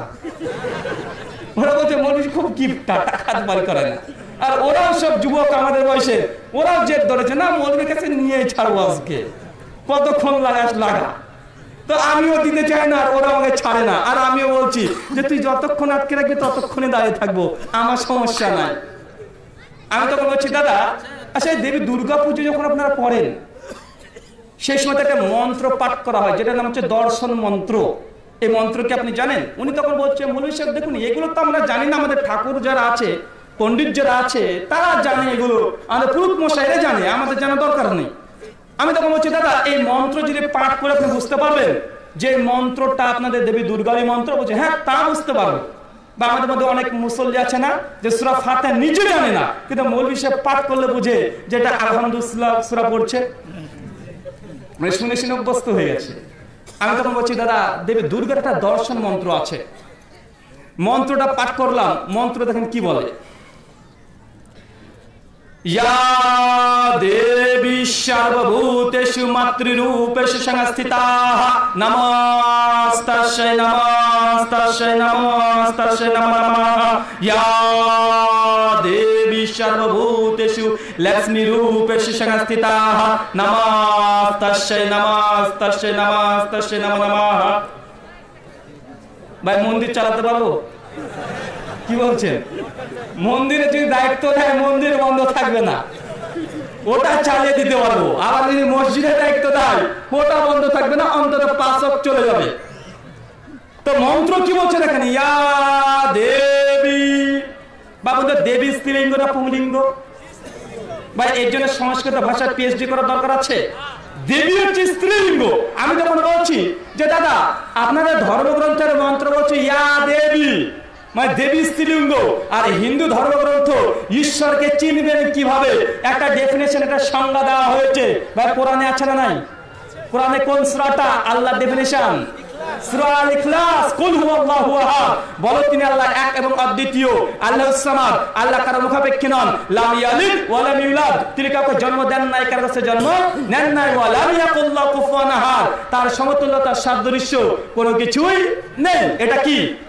আল্লাহর সংজ্ঞা, আল্লাহর পরিচয়, আল্লাহকে চেনার জন্য একটা মানদণ্ড চারটে কোরআনের আয়াত। ঠিক একই ভাবে ঈশ্বরের সংজ্ঞা হিন্দু ধর্মগ্রন্থে দেওয়া হয়েছে। সেটা সূত্র পরিষদ অধ্যায় ছয়। মন্ত্রণামন্বয়ে বলা হচ্ছে নাচস্য কাশ্চিৎ পাতি রাস্তি লোক, না চেসিতা লিঙ্গামা শাকারানাম কারণা পাদিপ নাচস্য কাশ্চিৎ জানিতা নিজে দীপা নাচস্য কাশ্চিৎ পাতি রাস্তি লোক নচা লিঙ্গামা ভাই নচা লিঙ্গামা মানে যিনি ঈশ্বর হবেন নচা লিঙ্গামা তার কোনো লিঙ্গ থাকবে না। ইয়া দেবী। বলবে দেবী স্ত্রীলিঙ্গ না পুংলিঙ্গ? স্ত্রীলিঙ্গ, আমি তখন দাদাকে প্রশ্ন করছি, হিন্দু দাদাকে, দাদা, ধর্মগ্রন্থ বলছে, যিনি ঈশ্বর হবে তার কোনো লিঙ্গ হবে না, সে নারী হবে না পুরুষ হবে না, অথচ দেবী দুর্গা একটা জল জন্ত একটা নারী, একজন মা বলে সম্বোধন করেন। তো দাদা, হয় আপনার ধর্মগ্রন্থ ভুল, আপনার বিশ্বাস ঠিক, অথবা বিশ্বাস ভুল, ধর্মগ্রন্থ ঠিক, এখন কোনটা ঠিক, কোনটা ভুল, এটা আপনি নির্ণয় করুন। কেন? তার ধর্মগ্রন্থ বলছে যিনি ঈশ্বর হবেন, তিনি নারীও হবেন না, পুরুষও হবেন না। নচা লিঙ্গামা। ইয়া দেবী, সবাই জানি আমরা দেবী, স্ত্রীলিঙ্গ। যিনি ঈশ্বর হবেন, তিনি কোনো স্বামী গ্রহণ করবেন না। আমি হিন্দু দাদাকে তখন জিজ্ঞাসা করছি, দাদা, আপনাদের দেবী দুর্গা, তিনি কি কখনো বিবাহ করেছেন? উনি আমার কথা না বুঝতে পারে বলছেন, কেন করবে না? অবশ্যই করেছে। মানে আমার কথা ধরতে পারেনি। আমি উল্টো দিক দিয়ে ধরেছি। আচ্ছা দাদা আপনাদের দেবী দুর্গা তিনি কি বিবাহ করেছেন? অবশ্যই করেছে। কেন করবে না? আচ্ছা তার স্বামীর নাম কি? তিনি বলছে কেন? দেবের দেব মহাদেব শিব। তার অনেকগুলো নাম আছে ব্রহ্মলে মহেশ্বর রুদ্রা নীলকণ্ঠ অনেকগুলো নাম আছে। উনি বলে ফেলেছেন যে তাদের দেবী দুর্গা স্বামীর নাম শিব। আমি তখন বলছি দাদা মন্ত্র যে বলছে নাচেশ্চে কাশ্চিৎ পাতি রাস্তি লোক। ভাই পাতি মানে যিনি ঈশ্বর হবেন তিনি কোন স্বামী গ্রহণ করবেন না। আচ্ছা ধর্মগ্রন্থ বলছে, যিনি ঈশ্বর হবেন, কখনো কখনো স্বামী গ্রহণ করবে না। অথচ আপনাদের দেবী দুর্গা, তিনি তো একটা স্বামী গ্রহণ করেছে। তো আপনার হয় ধর্মগ্রন্থ বিশ্বাস ঠিক, অথবা বিশ্বাস ধর্মগ্রন্থ ঠিক। অনেকগুলো কথোপকথন চলতে থাকে, একের পর এক। তাকে বোঝানোর চেষ্টা করলাম এটা, যে ভাই, আপনি যেটা পালন করছেন, এটা ধর্মগ্রন্থের আলোকে ধর্ম পালন নয়, বরং বাপ আর দাদু পূর্বপুরুষ ধরে যেটা হচ্ছে, এটাই ধর্ম পালন করছেন। এটা আপনার ধর্মগ্রন্থের আলোকে ধর্ম পালন নয়। কিছুক্ষণ পর উনি আবার বলছেন যে মৌলভী সাহেব আচ্ছা দেন, দশ টাকা দেন, অনেকক্ষণ কথা হলো। আমি তখন বলছি যে, দাদা, চলেন, পাশে একটা মিষ্টির দোকান আছে। ওই মিষ্টির দোকানে চলেন। মিষ্টির দোকানে আমি নিয়ে যাচ্ছি। তো ওরা আসতে চাইছে না। বলছে মৌলভী সাহেবের সঙ্গে মিষ্টির দোকানে যাব? আসতে চাইছে না। একটু পর পাঁচ ছয় জন বলছে, ঠিক আছে, চলেন। তো মিষ্টির দোকানে যাওয়ার পরে আমি মিষ্টি অর্ডার দিলাম। খাওয়া দাওয়ার পরে কমপক্ষে সাড়ে তিনশো টাকা আমি বিল করেছি, তো সাড়ে তিনশো টাকা মতো বিল হয়েছে। আমি পকেট থেকে বের করে সরাসরি দোকানদারকে দিয়ে দিয়েছি।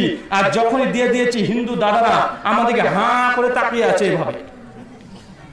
তখন আমি তখন বলছি যে, কি সমস্যা? উনি বলছে মৌলী সাহেব, আশ্চর্য লোক আপনি। আচ্ছা কেন দাদা? উনি তখন বলছেন, আরে, আমরা তো ভেবেছিলাম আপনি কিপটা। আরে দশ টাকা এতক্ষণ ধরে দিলেন না। দশ টাকা দিতে রাজি হলেন না। আর খাওয়া দাওয়ার পরে তিনশো তিরিশ টাকা, পঞ্চাশ টাকা মতো বিল দিয়ে দিলেন। আশ্চর্য বিষয়। আমি তখন তাকে বললাম, দাদা, এখানে সাড়ে তিনশো টাকা কেন? সাড়ে তিন লক্ষ টাকা যদি আপনাদের হিন্দু দাদাদেরকে খাইয়ে দিই বা আল্লাহ আমাকে জাহান নামে দেবে? জি না। কিন্তু এক টাকা যদি দুর্গে দুর্গার নামে আমি তাদের স্থানে দিই বা আমার জন্য জাহান নাম আছে না নাই? আছে দেবী দুর্গার নামে এক টাকা কানা করিও, দেওয়া যাবে না। কিন্তু একটা হিন্দু বোনের বিবাহ হচ্ছে না, বা তাকে আমরা এক লক্ষ টাকা দিয়ে সহযোগিতা করতে পারব কি পারব না? অবশ্যই পারব। একটা হিন্দু বোন, একটা হিন্দু মা বোন, বা একজন হিন্দু ভাই রক্তের জন্য ছটপট করছে, শরীর থেকে রক্ত দান করতে পারব কি পারব না? অবশ্যই পারব। কিন্তু সাহারানা পয়সা যদি দুর্গা পূজার নামে দিতে বলে, বা এটা দেওয়া যাবে, এটা ইসলামে হারাম নিষিদ্ধ। এই জন্য আমরা বলি, ইসলাম ধর্ম হচ্ছে উদারতার ধর্ম। কিসের? উদারতার ধর্ম। তবে উদাসীন নয়। বাংলাদেশে একটা শব্দ প্রচলিত আছে, ধর্ম যার যার, উৎসব সবার। বা আছে না নাই? ধর্ম যার যার, উৎসব সবার। এই স্লোগান দিয়ে শুধুমাত্র মুসলিমদেরকে বলে যে ধর্ম যার যার, উৎসব সবার। যদি তাই হয়, বা আমাদের কুরবানি ধর্ম কি ধর্ম নয়? কুরবানির মাংস খাওয়াটা ধর্মের অন্তর্ভুক্ত কি অন্তর্ভুক্ত নয়। তো উৎসব যদি সবার হয়, হিন্দু বেলাকে ধরে নিয়ে এসে আমরা গরু মাংস খাব নাকি? বা মানবে কথা কেউ মানবে? কেউ যদি বলে, রাষ্ট্র যার যার, স্বাধীনতা সবার। দিয়ে পাকিস্তানে যেদিন স্বাধীন হয়েছিল, আপনারা বাংলাদেশের পতাকা তুলিয়েন। তুলবেন নাকি? বা পাকিস্তান যেদিন স্বাধীন হয়ে বাংলাদেশ যখন স্বাধীন হয়েছিল, বা পাকিস্তানিরা কখনো পতাকা তুলবে? রাষ্ট্র যার যার, স্বাধীনতা সবার, আনন্দ সবার, বা এটা চলবে, কখনোই চলবে না। ধর্ম যার যার, উৎসব সবার, এটা কোনো ধর্ম কখনো মেনে নিতে পারে না। কেন? একটা ধর্মের বিশ্বাসের সঙ্গে একটা ধর্ম বিশ্বাস হান্ড্রেড পার্সেন্ট অপোজিট আছে না নাই? আছে, বা মূর্তি পূজা করলে ইসলাম ধর্ম, এটা নিষিদ্ধ, হারাম, শিরিক, কিন্তু এর মধ্যে হিন্দুদের বা জানাত আছে না নাই? তাই এই ধর্ম যার যার উৎসব সবার, এই সেরকম কোশ্চিন কালে সম্ভব বা ইসলামে অনুমোদিত হতে পারে না।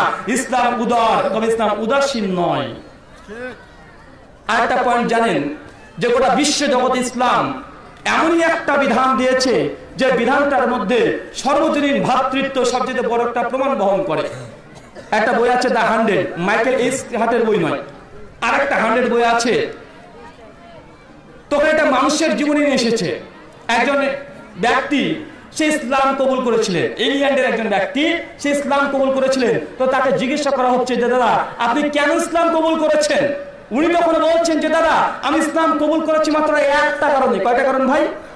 একটা। কারণ। যখন সাক্ষাৎকার নেওয়া হচ্ছে যে আপনি কোন কারণ ইসলাম কবুল করেছেন? উনি যখন বলছেন দাদা আমি খুব মধ্যবিত্ত পরিবারের একজন ব্যক্তি ছিলাম। আমি ইংল্যান্ডে আমার বাড়ির জন্মভূমি ওখানে। তো আমি ব্যবসা করতাম বিভিন্ন ফলের ব্যবসা ডাব এবং বিভিন্ন ফল পাওয়া যায় না ভাই। আম, জাম, কাঁঠাল, লিচু যেগুলো পাওয়া যায়, উনি বলছেন যে আমি এইসব ফুডসের ব্যবসা করতাম। আর আমার দোকানটা ছিল একটা মসজিদের সামনে, জুমা মসজিদের সামনে। ঠিক এই সময়তে আমি মাঝে মধ্যে দেখি যে জুমার দিনে ওই মসজিদে অনেক বেশি বেশি মানুষ আসে। অনেক মানুষ আসে, বা জুমাতে মানুষ বেশি আসে না, আসে। উনি তখন ছিলেন খ্রিস্টান ধর্মের অনুসারী। তিনি বলছেন, আমি ওখানে দোকান দিই। তো জুমার দিনে অনেক মানুষ আসে, বেচা কিনা ভালো হয়, এই জন্য মসজিদের সামনে আমি দোকান দিতাম। তাই জন্য হট করে দেখছি যে আমাদের ইংল্যান্ডের একজন খুব প্রভাবশালী ব্যক্তি, সে ব্যক্তি ছিল মুসলিম। হঠাৎই দেখছি তিনি চার পাঁচটা গাড়ি নিয়ে আমাদের মসজিদের সামনে, আমার দোকানের সামনে গাড়িটাকে থামিয়ে দিয়েছে।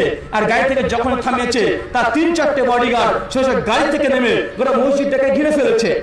হঠাৎই ওই ব্যক্তি, ইংল্যান্ডের প্রভাবশালী ব্যক্তি সঙ্গে সঙ্গে মসজিদে ঢুকে অজু করে তিনি মসজিদে প্রবেশ করলেন। একদম দেখছি শেষের কাতারে, শেষ লাইনে তিনি দাঁড়িয়ে আছেন। একটু একটুবার দেখছি যে তিনি দাঁড়িয়ে নামাজ পড়ছেন। তো ওই দাদাকে জিজ্ঞাসা করা হচ্ছে যে, আপনি এই কারণে ইসলাম কবুল করেছেন? বলছে, জি না, এই কারণে নয়। আমি দেখলাম যে ওই প্রভাবশালী ব্যক্তি মসজিদে প্রবেশ করছে একদম পেছনের কাতারে দাঁড়িয়ে। এত বড় একজন শক্তিশালী প্রভাবশালী ব্যক্তি সে সামনে গেল না। তার সামনে কোনো জায়গা দেওয়া হলো না পেছনেই আছে। বা বলুন তো যত কোটিপতি হোক সে যদি শেষে যায় তাকে প্রথম কাতার দেওয়া যাবে? দেওয়া যাবে? দিয়ে যাবে না। উনি তখন বলছেন দাদা আরেকটা কথা যে আমি দেখলাম যে আমারই পাশে আরেকজন ফল বিক্রেতা ছিল। উনি ছিলেন মুসলিম। যখন ওই ব্যক্তি, প্রভাবশালী ব্যক্তি মসজিদে ঢুকে গেল, আমার ফল বিক্রেতা ওই বন্ধু উনি সঙ্গে সঙ্গে দোকানটাকে বন্ধ করে অজু করে মসজিদে ঢুকে গেলেন। গিয়ে দেখছি আমার ওই বন্ধু ফলওয়ালা একজন মধ্যবিত্ত শ্রেণির একজন ব্যবসায়ী। সে গিয়ে প্রভাবশালী ব্যক্তির কাঁধের সঙ্গে কাঁধ আর পায়ের সঙ্গে পা লাগিয়ে আল্লাহ আকবার বলে নামাজ শুরু করে দিয়েছে। উনি বলছেন, আশ্চর্য হয়ে গেলাম। এত বড় প্রভাবশালী একজন ব্যক্তি আর একজন আমার একজন বন্ধু সাধারণ শ্রেণির। ও গিয়ে তার সঙ্গে কাদের সঙ্গে কাঁধ পায়ের সঙ্গে পা লাগিয়ে দিল। কোনো মানুষ থেকে কোনো কিছু বলতে পারল না। উনি তখন বলছে, আমি এই বিষয়টা নিয়ে খুব ভাবছিলাম যে এত বড় একটা মানুষের পায়ের সঙ্গে পা কাদের সঙ্গে কাঁধ লাগিয়ে দিল? তাকে কিচ্ছু বলছে না। তখন ফল বিক্রেতা যখন বেরিয়ে আসে তখন উনি তখন জিজ্ঞাসা করছেন খ্রিস্টান বন্ধু, যে ভাই, তুই মসজিদ যে ওই ব্যক্তির পায়ের সঙ্গে পা কাঁধের সঙ্গে কাঁধ লাগালি, কেউ কিছু তোকে বলল না? তখন ফলালা একটা কথা বলেছিল, ওটা তার অন্তরে দাগ কেটেছিল। ওই ফলালা ব্যক্তি তখন তার বন্ধুকে বলেছিল, ভাই, ওটা হচ্ছে আল্লাহর ঘর। ওই ঘরে একবার যে প্রবেশ করে যায়, যখন আল্লাহ আকবরের তাকবির পড়ে যায়, পৃথিবীতে কোনো মানুষের তখন পরিচয় থাকে না। একটাই পরিচয় হয়ে যায়, নাম হচ্ছে আব্দুল্লাহ। কি পরিচয়? আব্দুল্লাহ, আল্লাহর গোলাম। তাই একবার যখন আল্লাহ একবার ধ্বনি পড়ে গেছে ও ভিডিও না এমপি না এমএলএ না প্রধানমন্ত্রী এটা দেখার আর কোনো পরিচয় তার থাকে না। এক তাকবিরে পৃথিবীর সমস্ত পরিচয় ভুলে যায়। সবাই তখন হয়ে যায় আল্লাহর গোলাম। ওই ব্যক্তি তখন বলছে, আমি এটা দেখে আশ্চর্য হয়েছিলাম। তখন আমি ওই আমার মুসলিম বন্ধুকে বলেছিলাম যে, ভাই, আপনার ধর্মটা আমার খুব পছন্দ হয়েছে। যে, এরকম একটা ধর্ম যে, পায়ের সঙ্গে পা কাদের সঙ্গে কাঁধ লাগিয়ে দেওয়া হয় বা কোনো হিন্দু ধর্মগ্রন্থের একজন ক্ষত্রিয় বা শূদ্র, সে যদি গোটা সংস্কৃত ভাষায় বেদ মুখস্থ করে ফেলে, ভাই, তারপরে দুর্গা মন্দিরে গিয়ে সে পুজো করতে পারবে? পারবে যদি ব্রাহ্মণ না হয়? কি বলছেন? পারবে? সে কখনোই পারবে না। যদি এমনটা না হয় কখনোই সে পারবে না। তো এটাই মূল কারণ তিনি বললেন যে আমি এই জন্য তাদের ধর্মগ্রন্থ পড়ার জন্য চাইলাম। সঙ্গে সঙ্গে আমাকে একটা ধর্মগ্রন্থ দেওয়া হলো কোরআন। আমি কোরআন পড়া পরে আঠাশ দিন পর ইসলাম গ্রহণ করি। ভাই, কেন বলেন তো? রসুলের একটা সুন্নাত পালন করেছিল মসজিদে। কোনটা? কাদের সঙ্গে? কাদার পায়ের সঙ্গে? পা। কিন্তু বাংলাদেশে অনেক জায়গাতে আছে না নেই। কাদের সঙ্গে? কাদের পায়ের সঙ্গে? পা যদি লাগিয়ে দেন, পাশের ব্যক্তির বড় হুজুর এসে বলে কোন কোরআন করে বাচ্চারে বলে কি বলে না? আছে না? যে কাদের সঙ্গে কাঁধ পায়ের সঙ্গে পা লাগালে অমনি আপনাকে বলে উঠবে, আরে, তোর বাপ মা ভদ্রতা শেখায়নি, তোর বাপের বয়স তুই পায়ের সঙ্গে পা লাগিয়ে দিয়েছিস বা বলে কি বলে না? ইসলাম কবুল ইসলাম আদর্শ। বলেছে, তোমরা যখন নামাজে দাঁড়াবে সঙ্গে সঙ্গে পা লাগিয়ে দাঁড়াও, নিজের ফাঁকাটাকে বন্ধ করো, মাঝখানে ফাঁকা রাখবে না। কেন? আমি দেখতে পাচ্ছি শয়তান প্রবেশ করছে। বা হাদিস আছে না নেই? সন আবু দাউদ 666 67 নম্বর হাদিস সহিহ বুখারী 725 নম্বর হাদিস এবং রিয়াদুস সালিহিন 1095 নম্বর হাদিস। আলসুল বলেছে, ফাঁকা জায়গা বন্ধ করো। কেন? ওর মধ্যে শয়তান প্রবেশ করে। আর হুজুর তখন মনে করেছে, এই শয়তান মানে মনে হয় কান করে শয়তান। যে আলসুল এই শয়তানের কথা বলেনি। কোন শয়তান? ওই যে ধরুন আপনাদের এলাকার এমপি মসজিদে নামাজ পড়তে ঢুকেছে। আর যখনই নামাজ পড়তে ঢুকেছে পাশের একটা রিক্সা চালক এসে এমপির পাশে দাঁড়িয়ে পড়েছে। আর দাঁড়ানোর পরে নামাজ পড়ার সময় কাঁধের সঙ্গে কাঁধ পায়ের সঙ্গে পা লাগিয়ে দিয়েছে। আর এমপি সে মনে মনে বলছে রিক্সা চালক আমার পাশে। আরে রিক্সা চালক আমার পায়ের সঙ্গে পা লাগিয়েছে। এই যে কেমন কেমন করছে একটা? কেমন একটা অহংকার অহংকার ভাব? এটা হচ্ছে শয়তান। কোনটা? এই যে নিজের অহংকার যে আমার পাশে একজন ফকির একজন মিসকিন আমার পাশে, এই যে অহংকার অহংকার একটা ভাব। আসলে এটাকে বলেছে কি? এটাই মূলত হচ্ছে শয়তান, এই শয়তানকে দূর করতে হবে। কিন্তু বাংলার হুজুর তারা বুঝতে পারেনি। তারা মনে করে যে শয়তান মানে কান খারাপ করে শয়তান মনে আসবে আলিফ লাইলার মতো। জি, ওই শয়তান নয়। ওই শয়তানের কথা বিশ্বনবীও বলেননি। মানে কথা আছে, হাদিসে এক, আমরা বুঝি আর যেমন ছোট্ট সাত বছরের শিশু, তার মাকে বলছে, মা আইসক্রিম খাব। কি খাব? আইসক্রিম খাব। মা তখন বলছে, বাবা, আইসক্রিম খাস না, ঠান্ডা লেগে যাবে। তখন ছেলে বলছে, না মা, আমি আইসক্রিম খাবোই খাব। মা তখন আবার বলছে, বাবা, আইসক্রিম খেও না, ঠান্ডা লেগে যাবে। ছেলে তখন বলছে, মা, আমি সোয়েটার পরে খাব। ভাই বলেন তো, মা যে ঠান্ডার কথা বলেছে, ছেলে সে ঠান্ডা কথা বুঝেছে মা বলছে, আইসক্রিম খেও না, ঠান্ডা লেগে যাবে। আর ছেলে তখন বলছে যে, ঠিক আছে, আমি সোয়েটার পরে খাব। মানে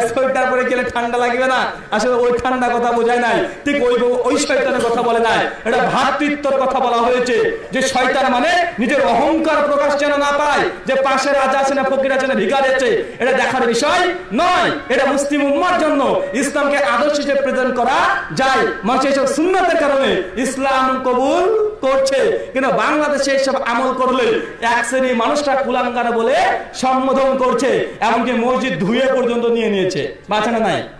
যদি মসজিদে একবার জোরে আমিন কেউ বলেছে বা মসজিদ থেকে লাথি মেরে বের করে দেওয়ার রেকর্ড আছে না নাই? যদি হচ্ছে বাংলাদেশের একজন স্বনামধন্য বক্তা, নামটা তার বললাম না, উনি বলেছেন যে আহলে হাদিস মসজিদ থেকে নাকি হানাফিদেরকে বের করে দেওয়া হয়। ভাই শুনেছেন? তিনি বলেছেন যে এমনটা কথা। আমরা বলি যে এই কথাটা সম্পূর্ণ, এটা মিথ্যা, এটা অজ্ঞতার কারণে বা কোনো হিংসা বিদ্বেষের কারণে এই কথাগুলো প্রচার করা হচ্ছে। শুধু বাংলাদেশ নয়, ভারতবর্ষে চলে যান, গোটা পৃথিবীতে চলে যান। একটা মসজিদ দেখাতে হবে, যে কোনো আহলে হাদিস মসজিদে কোনো হানাফিদেরকে মসজিদ থেকে বের করে দিয়েছে একটা নজির নাই। কিন্তু গোটা বিশ্ব জগৎ আমরা তাকিয়ে দেখেন যে ভাই হানাফি ভাইরা আহলে হাদিসদের মসজিদে যদি মসজিদে, যদি হানাফি ভাইদের মসজিদে আহলাসটা গেল, বা তাড়িয়ে দেয় কি দেয় না? তাড়িয়ে তো দূরের কথা, মসজিদে আগুন ধরে পুড়িয়ে দিয়েছে বরিশালের মসজিদ। আছে না নাই? বলেন, ভাই তারপরে আমাদের মিথ্যা অভিযোগে ফাঁসানো হচ্ছে হচ্ছে না। সব জায়গায় আমরা দুর্বল। এই জন্য আমাদের উপরে মিথ্যা অভিযোগ দেওয়া হচ্ছে। মহান সত্তার কাছে দেওয়া এই প্রার্থনা আল্লাহ সুবহানাহু তাআলা ইসলাম থেকে বেশি বেশি বোঝার তৌফিক দান করো সকল বলি আল্লাহ আমিন। কিছু মহিলাদের উদ্দেশ্যে কথা। যে আমাদের মা বোনেরা তারা সবসময় মনে করে যে আমরা ইসলাম ধর্ম পালন করি, আমাদের ইসলাম ধর্ম আমাদের মহিলাদেরকে সম্মান দেয় না সবসময় পর্দা করে থাকতে হয়, বা আছে না? অনেকে দেখুন, যখনই মানবিক মানে মানবিক একটা কথা আছে, তখন বলা হয় যে না, ইসলামের নারীদেরকে কোনো অধিকার দেওয়া হয়নি। নারীকে খাঁচায় বন্দি করে রাখার কথা বলা হয়েছে বাছানা নাই? আছে। কেন? কারণ আধুনিক পাশ্চাত্যে যারা আছে তারা মনে করছে নারীর অধিকার মানে নারীর পোশাককে কেড়ে নাও ন্যাংটা করে ছেড়ে দাও। বা আধুনিক বিশ্ব কি চাইছে? যে নারীর অধিকার বলতে তারা বোঝাচ্ছে যে নারীর পোশাকটা গা থেকে খুলে নাও তাকে উলঙ্গ করে ছেড়ে দাও। এটাই নাকি তাদের স্বাধীনতা। একটা কথা প্রচলিত আছে যে নারীদের স্বাধীনতা চাই, নারী আন্দোলন করছে বা আছে না নাই? ভাই, আমরা একটা কথা বলি যে মানুষ, বেশিরভাগ মানুষরা এইসব নারীদেরকে ধোকা দিচ্ছে, তারা বলছে নারীর অধিকার চাই। আসলে তারা নারীর অধিকার চায় না, তারা চায় সুন্দরী নারীর অধিকার। কার? সুন্দরী নারীর অধিকার চায়, তারা কুচ্ছিত নারীর অধিকার চায় না। ভাই, বাংলাদেশের এয়ারলাইন্সে যতগুলো মেয়ের চাকরি হয়েছে, কটা কুচ্ছিত কালো আছে, খুঁজে নিয়ে আসেন তো। বলেন, আছে? কথা বলেন। যখন এয়ারলাইন্সে বিমান সেবিকা নেয়, তখন কি ভালো ভালো দেখে নেয় না কালো কচাগলা নেয়? বলেন নাকটা বেকা, ঠোঁট মোটা, এরকম ফ্যাবলা মোটা নেয়? জি না যখন এয়ারলাইন্সের চাকরি হয়, তার প্রত্যেকটা শরীরের ইঞ্চি ইঞ্চি তাকে মেপে নেওয়া হয়। আগে দেখে নেওয়া পারফেক্ট আছে কি নেই? বা বলতো, বাংলাদেশ না গোটা বিশ্ব জগতে এই এয়ারলাইন্সে যত মেয়েরা, নারীরা চাকরি করে, প্রত্যেকটা সুন্দরী কি সুন্দরী নয়। কোন কুচ্ছিত নারীকে নাই, জি নাই না। যখনই পঁয়ত্রিশ, আটত্রিশ বছর পার হয়ে যাবে, তারপরে চাকরিটা রাখে না কেন? তখন তার যৌবনটা আর থাকে না, তার গানটা জড়ো জড়ো হয়ে যায়। বা এটা কি নারীর স্বাধীনতা না ধোকা? বলেন কি নারীর অধিকার না আচ্ছা নারীর সৌন্দর্য নিয়ে তারা ব্যবসা করতে চায়। নারী সৌন্দর্য বিক্রি করে তারা নারীকে পণ্য হিসাবে বিক্রি করে, ক্রয়, বিক্রয় দ্রব্য হিসেবে ব্যবহার করে, তারা নারীদেরকে ছলনা করে, তারা ব্যবসা করতে চায়। তারা কি বলছে? নারীর অধিকার। আচ্ছা নারীর অধিকার তারা চায় না।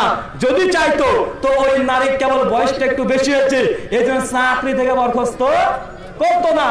ভাই, গত যত জায়গায় দেখবেন, বড় বড় শপিং মহলে চলে যান, ওইসব শপিং মহলে যেসব মেয়েরা চাকরি পেয়েছে তারাকে কুচ্ছিত কালো না সুন্দরী? বলেন। যারা নারীর অধিকার চায়, তারা মূলত সুন্দরী নারীদেরকে তাদের ব্যবসার কাজে লাগিয়ে ব্যবসা করে নিতে চায় তাদের সৌন্দর্যের বিনিময়ে। কিন্তু আমাদের মা বোনেরা মনে করছে যে, না, চাকরি করছে মানে চাকরি দিয়েছে। আচ্ছা তাকে চাকরি দেয়নি, তার চেহারাকে চাকরি দিয়েছে। কাটা কোনটাকে চেহারাকে তারা গোটা আধুনিক বিশ্ব দেখে। আমাদের ইন্ডিয়াতে একটা গাড়ি আছে ট্রাক্টরে। ট্রাক্টর বোঝেন ভাই? ট্রাক্টর আছে মাহিন্দ্রা কোম্পানির ট্রাক্টর কলকাতাতে এয়ারপোর্টের থেকে নামবেন দমদম এয়ারপোর্টে নেমে বের হবে। দেখবেন একটা বড় ট্রাক্টরটা এয়ার দেওয়া আছে। ট্রাক্টরের আগে কি আছে জানেন? একটা বিকিনি পরে একটা মেয়ে। বিকিনি পরা মানে বোঝেন? একটা বিরা পরে আছে ছোট্ট একটা প্যান্ট পরে আছে, যেটাকে আন্ডার প্যান্ট বলা হয়। মেয়েটা গাড়ির উপরে বসে আছে ট্রাক্টরের উপরে। দিয়ে তিনি লিখছে, বাংলাতে লেখা আছে আর হিন্দিতে লেখা আছে, আহ, কি শক্তি। বা বন্ধু, কি বুঝাচ্ছে এটা দিয়ে? বা একটা নারীর সঙ্গে ট্রাক্টরের সম্পর্ক কি? নারীরা ট্রাক্টর চালাবে? বা নারীরা ট্রাক্টর চালায়? বলেন। নারী কি ট্রাক্টর চালায়? আসলে এই যে একটা বাজে কেন বানিয়েছে বলেন তো? এর একটা চক্রান্ত কৌশল আছে। কেন? একটা ট্রাক্টর যদি অ্যাড দেওয়া হয়, কোন মানুষ কিন্তু অ্যাডের দিকে তাকাবে না। কিন্তু একটা অর্ধলঙ্গ নারী যখন থাকবে, যে গোটা শরীর বেরিয়ে আছে, তাই না? কত সুন্দর ছবি, একবার তাকে অ্যাডটা দেখবে কি দেখবে না। মূলত এই একটাকে ফোকাসিং করার জন্য অর্ধলঙ্গ একটা নারীর একটা ছবি দিয়ে অশ্লীল একটা শব্দ দিয়ে একটা ওই পদটাকে তৈরি করা হয়েছে যেন একটা দিকে মানুষ বেশি বেশি দেখে। আপনি যেখানেই দেখবেন, নারীদেরকে নিয়ে ব্যবসা করছে, এটা নারী স্বাধীনতা নয়। যখন নারী সৌন্দর্য শেষ, তাকে তার ডাস্টবিনে নিক্ষেপ করছে প্রত্যেকটা জায়গায়। কিন্তু আমরা মনে করছি এটাই নারীর স্বাধীনতা। কোথায় স্বাধীনতা দিয়েছে? এক জগতের স্বাধীনতা দেয় নাই। এবং ইসলাম নারীকে এমন সম্মান দিয়েছে, এমন অধিকার দিয়েছে, গোটা বিশ্ব জগতের যত ধর্ম আছে, কেউ দিতে পারেনি। সেই বুখারি খুলেন, হাদিস নাম পাঁচ হাজার আটশো বিরানব্বই বিশ্বনবী বলছেন, একজন সাহাবী এসে বলছে, ইয়া রাসূলুল্লাহ, এই গোটা বিশ্ব জগতে আপনাকে আর আল্লাহকে বাদ দিয়ে সবচেয়ে কাকে বেশি ভালোবাসবো? বিশ্বনবী বলছেন, তোমার মাকে। কাকে? তোমার মাকে? এরপর সাহাবী হচ্ছে আল্লাহ রাসূল, তারপরে কাকে? আসলে আবার হচ্ছে তোমার মাকে। তিনবার মতো জিজ্ঞেস আল্লাহ এরপরে কাকে? আসলে বলছে, তোমার মাকে। ভাই কবার বলল? তিনবার। এরপর আল্লাহ রাসূলকে জিজ্ঞেস আল্লাহ এরপরে কাকে? আল্লাহ বলছে, তোমার বাবাকে। ভাই, কয় নম্বরে বাবা? মানে একশো ভাগের মধ্যে সেভেন্টি ফাইভ পার্সেন্ট ভালোবাসা। কে হকদার মা। পঁচিশ পার্সেন্ট আছে বাবা। সুনান হাদিস না তিন হাজার চার। মোহাম্মদ সাল্লাল্লাহু সাল্লামের কাছে একজন বলছে আমি জিহাদে যেতে চাই। আল্লাহ বলছে, তোমার মা আছে বাড়িতে, জি আছে, যাও খেদমত করো। এটাই তোমার জন্য জিহাদ। ভাই, জিহাদ সবচেয়ে বড় ইবাদত কি ইবাদত নয়? মায়ের ইবাদত করা, মায়ের খিদমত মায়ের খিদমত করা জিয়াদের সমান মর্যাদা দিয়ে দিল। নারীকে কে বেশি মর্যাদা দিয়েছে। বলছেন যে, মায়ের পায়ের নিচে জান্নাত। বা কার পায়ের নিচে মায়ের পায়ের নিচে ইসলাম নারীকে মর্যাদা দিয়েছে কি দেয় নাই? মর্যাদা ইসলাম দিয়েছে আর যারা বহির্বিশ্ব হচ্ছে তারা নারীকে মর্যাদা নয় এবং তাদেরকে দিয়ে ব্যবসা করিয়ে যখন তাদের যৌবন শেষ হয়ে যায়, ডাস্টবিনে ফেলে দেয় তাকে একবারও আর চোখে দেখাটা দেখতে চায় না। কিন্তু নারীরা মনে করছে, এটা নাকি তাদের শুধুমাত্র এটাই নাকি স্বাধীনতা, ইসলাম নাকি তাদেরকে কোনো স্বাধীনতা? দেয় না, ইসলাম বলছে, মায়ের পায়ে নিচে যান না। ভাই, এর চেয়ে বড় কিছু প্রয়োজন আছে? জি না, কিন্তু আমাদের মা বোনেদেরকে মনে রাখতে হবে, মায়ের পায়ের নিচে জান্নাত। এই কথাটা বিশ্বনবী বলেছে, তো সমস্ত মায়ের পায়ের নিচে জান্নাত নয়। কি বললাম? সমস্ত মায়ের পায়ের নিচে জান্নাত নয়। বলতো আমার, আপনার মা যারা আছে, যেসব নারীরা আছে আমাদের এলাকাতে, এইসব মায়ের পায়ের নিচে জান্নাত আশা করা যায়? বলেন। কেবল মাগরিবের আজান পড়েছে। যখনই আজান পড়েছে, মাথাতে ঘুমটাটা দিয়ে দিল। আছে না নাই? সারাদিন খোলা ছিল। আজান করেছে, মাথায় ঘুমটা দিয়ে দিল। পাঁচ এলাকাতে বা বলুন তো, আজানের সময় মাথায় ঘুমটা দিতে হবে। কোরআন, হাদিস এমন কোনো কথা আছে? না, একজন নারী সব সময় মাথায় কাপড় দিয়ে থাকবে? এ কথা আছে। কোনটা? দেখেন কত ধর্ম দেখাচ্ছে। আজান করেছে, একদম ধার্মিক হয়ে গেল। আজান শেষ পাতা শয়তান। ভাবুন, আছে না নাই? হান্ড্রেড পার্সেন্ট আছে প্রত্যেকটা ঘরে ঘরে। মাগরিবের আজানের সময় সিনেমা দেখছে। পূর্ণ দৈর্ঘ্য বাংলা ছায়া ছবি দেখতে দেখতে আজান হচ্ছে আর বাংলাদেশ বিটিভি। উনিও পারে আজানের সময় আল্লাহ হকবতে আজানও দেয়। আবার আজান শেষ, আবার ন্যাংটা ছবি। আছে নাই? বাঁচে না? আশ্চর্য দুনিয়া!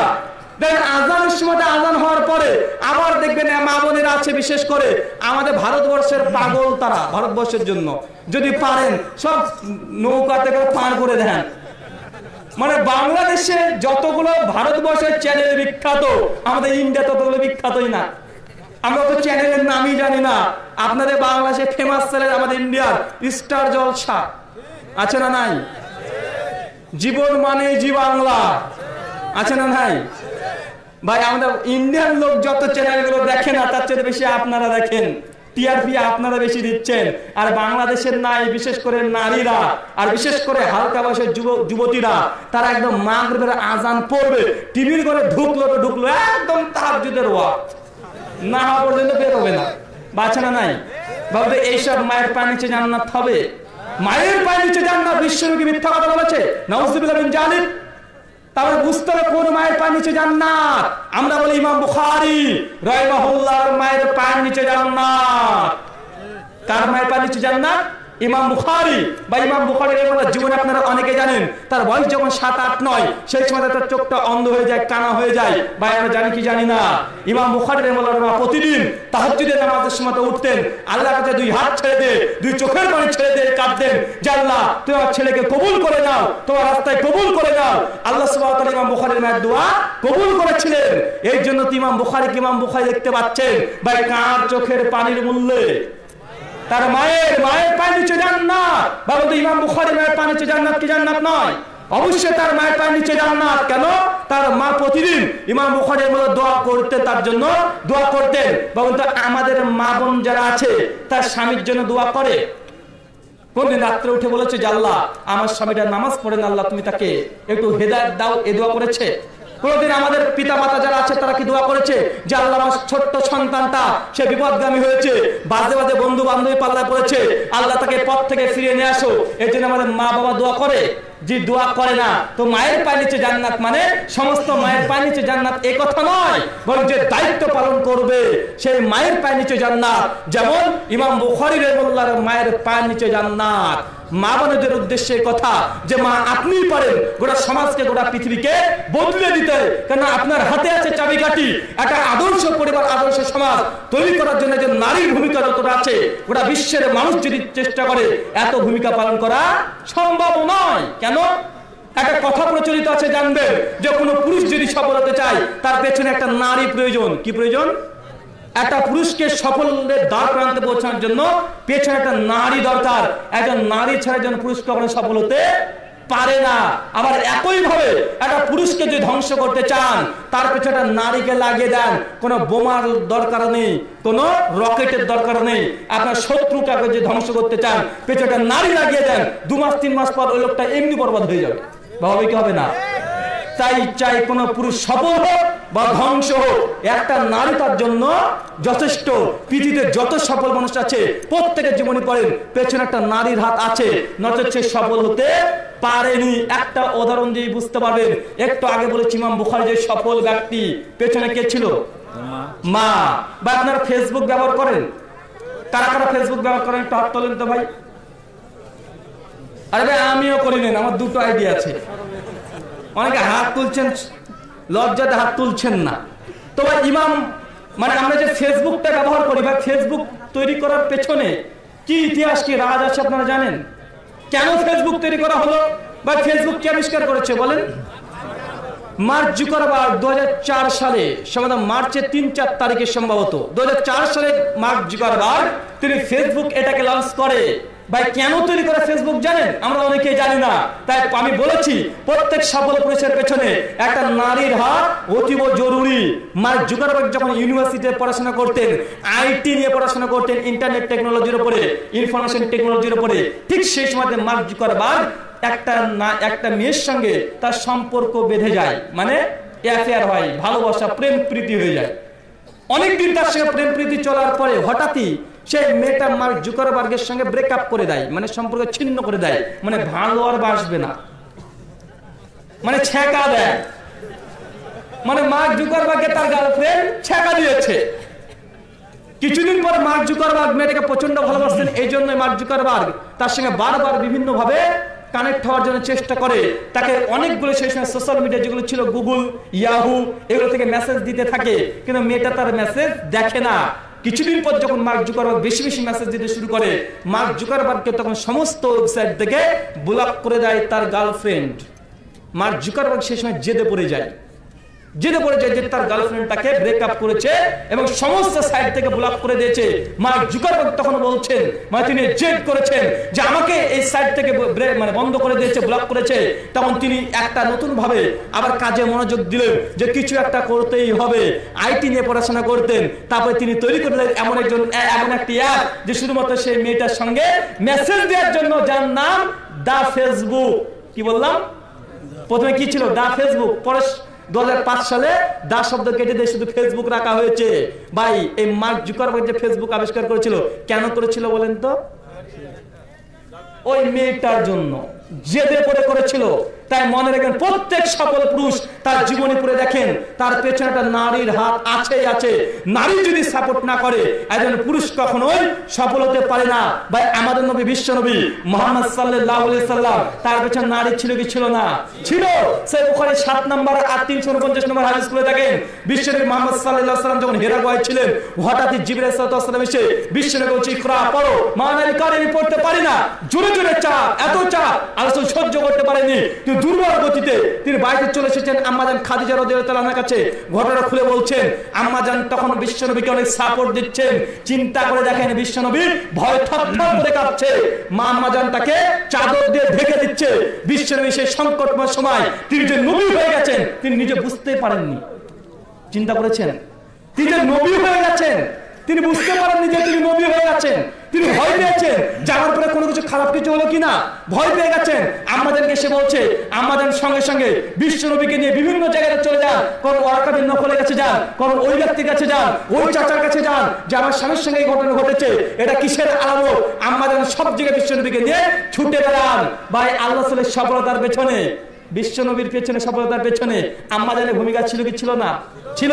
একজন বিশ্বনবীর পেছনে যদি একজন নারীর হাত থাকে, প্রত্যেক সফল পুরুষের পেছনে একটা নারীর হাত অতীব জরুরি। তা একটা নারী পারে, একজন মা পারে সমাজকে পরিবর্তন করতে অত ধ্বংস করে দিতে পারে।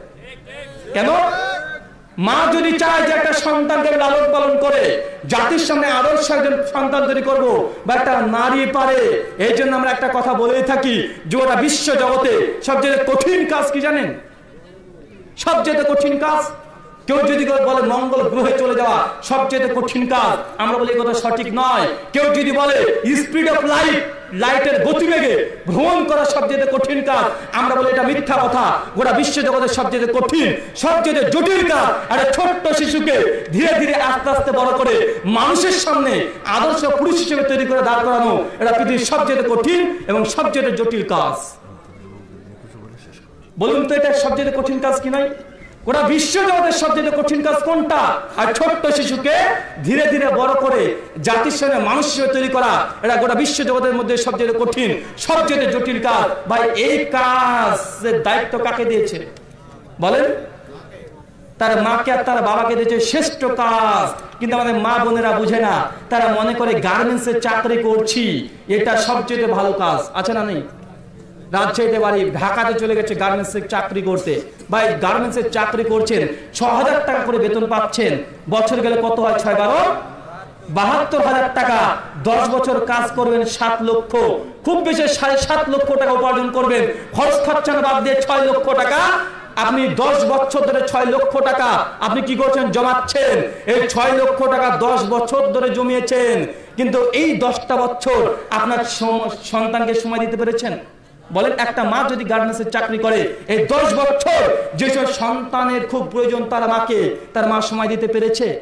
জি না এই সন্তানকে যদি দশ বছর তার মা চব্বিশ ঘণ্টা সময় দিত এই সন্তানকে যদি যথেষ্ট ভাবে লালন পালন শিক্ষা দীক্ষা দিত ভাবতো দশ বছর পর এই সন্তান একজন আদর্শবার ব্যক্তি হয়ে যেটা ভালো চাকরিও করতো বা ছয় লক্ষ টাকা তুলতে কদিন লাগবে? বলেন তার মানে ছয় হাজার টাকার বেতন চাকরি করার জন্য ছুটে বেড়াচ্ছে আমরা এই জন্য বলি যে আপনি না খেয়ে থাকেন। আপনি ভাত, শুধুমাত্র ভাত খান, নুন ভাত খান, কিন্তু ছেলেকে সময় দেন। ছেলেকে বাদ দিয়ে আরেক জায়গায় যদি যান, ছেলেকে ধ্বংস করতে একজন পিতামাতা সহযোগিতা করছে। কেন? পিতামাতার গাইড ছেড়ে কোনো সন্তান কখনোই একজন প্রকৃত মানুষ হওয়া সম্ভব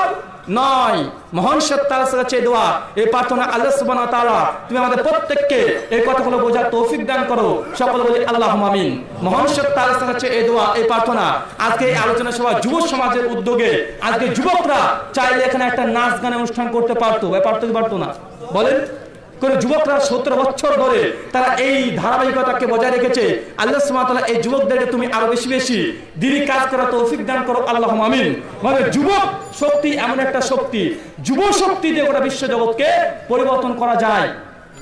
যুব শক্তি এমন একটা শক্তি যে গোটা বিশ্ব জগৎকে পরিবর্তন করা যায়। কেন? মানুষ ভালো করুক আর খারাপ করুক, কোন অবস্থা করে জানেন? যুবক অবস্থায়। ছোট্ট যখন সাত বছরের শিশু, ও মানুষের ক্ষতি করতে পারে না। এ রাষ্ট্রের ক্ষতি করতে পারবে না সাত বছরের একটা শিশু, দশ বছরের শিশু, এ রাষ্ট্রের ক্ষতি করতে পারবে না। মানুষ যখন বৃদ্ধ হয়ে যায়, পঞ্চাশ বছর পা ষাট বছর, সত্তর বছর বৃদ্ধ, এও একটা রাষ্ট্রের ক্ষতি করতে পারে না। তাই মানুষ ভালো করুক আর খারাপ করুক, বা কোন বয়সে করে যুবক মানে যুবক সময়ে। যে সময় রক্ত টক্ত তাজা, সেই সময় চাই ভালো করলে ভালো করবে, খারাপ করলেও খারাপ করবে। কোন সময়? এই যুবক সময়ে। তাই যুবকদেরকে বিশ্বনবী অনেক কথা বলেছেন। কয়েকটা কথা যুবকদের জন্য। বা যুবক ভাইদেরকে আল্লাহ বলেছে যে, সাত শ্রেণির মানুষকে আল্লাহ সুমাতালা কিয়ামতের দিন তার আরশের নিচে, তার নিজের ছায়ার নিচে স্থান দেবে। সে বুখারী ষাট নাম্বার হাদিস। তার মধ্যে যুবক আছে না নাই? বলেন। যুবক আছে না নাই? আছে। চব্বিশ নম্বর হাদিস। বিশ্বনবী বলছে কি আমাদের প্রত্যেক ব্যক্তিকে পাঁচটা প্রশ্ন না করা পর্যন্ত এক ধাপ সামনে এগোতে দেওয়া যাবে না। তার মধ্যে এক, আন উমুরিহি। তোমার বয়স সম্পর্কে জিজ্ঞাসা করা হবে। মানে প্রত্যেকটা মানুষকে জিজ্ঞাসা করবে, আল্লাহ, তোমাকে পঞ্চান্ন বছর সময় দিয়েছি। এই পঞ্চান্ন বছরে কি করেছ? তারপরে আরেকটা প্রশ্ন খাস ভাবে করা হবে, যে তোমার যে যৌবন সময়, এই যৌবন সময় তুমি কি করেছ? আজকে যে যুবকরা আজকে যে ইসলামী আলোচনা সভা দিয়েছে ভাই এটা কি ভালো কাজ না খারাপ কাজ? ভাই এর প্রতিদান কি আমাদের মাঠে পাবে কি পাবে না? যে নাচ গানের অনুষ্ঠান যদি করতো যাত্রা বিচিত্রা করতো এর জবাব দিতে হতো কি হতো না? দেখেন চিন্তা করে দেখেন আল্লাহ রাসূল দুটো প্রশ্ন কর- কথা বলছে যে গোটা বয়স সম্পর্কে হিসাব দিতে হবে। আবার স্পষ্ট বলছে যে যৌবন কাজটা হ্যাঁ। কোন ক্ষেত্রে ব্যবহার করেছ এটাও আপনাকে হিসাব দিতে হবে। তো যুব সমাজকে বলি যে তোমাদের ব্যাপারে বিশ্বনবী অনেক কথা বলেছে। আল্লাহর নিজের ছায়া নিচে স্থান দেওয়ার কথা বলা হয়েছে। তোমাদেরকে নিয়ে বিশ্বনবী অনেক ফজিলত কথা বলেছে। তাই আমরা যদি দুর্বল গতিতে ছুটে চলি অবশ্যই ইসলামের পতাকা আমরা উত্তোলন করতে পারব আমিও যুবক। আমি যুবক কি যুবক না ভাই? না দাঁড়িয়ে আছে বলে ভাবছেন যে বয়স ষাট? জি না বয়স অত নয়। তা আমাদের যুবক ভাইদেরকে বলি যে ভালো কাজ করতে আসলে বাধা হান্ড্রেড পার্সেন্ট আসবে। মনে রাখবেন যে কাজে বাধা নাই সে কাজে সফলতার আনন্দও নাই। বাধা যতই বিশাল বিজয়ের আনন্দ ততই বাদ ভাঙ্গা যে জিনিস সহজে পাওয়া যায় সে জিনিস অতটা ভালো লাগে না। ছোট্টবেলায় মনে রাখবেন যখন খুব অবস্থা খারাপ ছিল, গরিব ছিলেন, টাকা পয়সা ছিল না। যেদিন আপনার বাড়িতে প্রথমে সাদা কালোটা টিভি নিয়ে এসেছিল, ভাবুন তো কত আনন্দ পেয়েছিলেন। একটু চিন্তা করেন।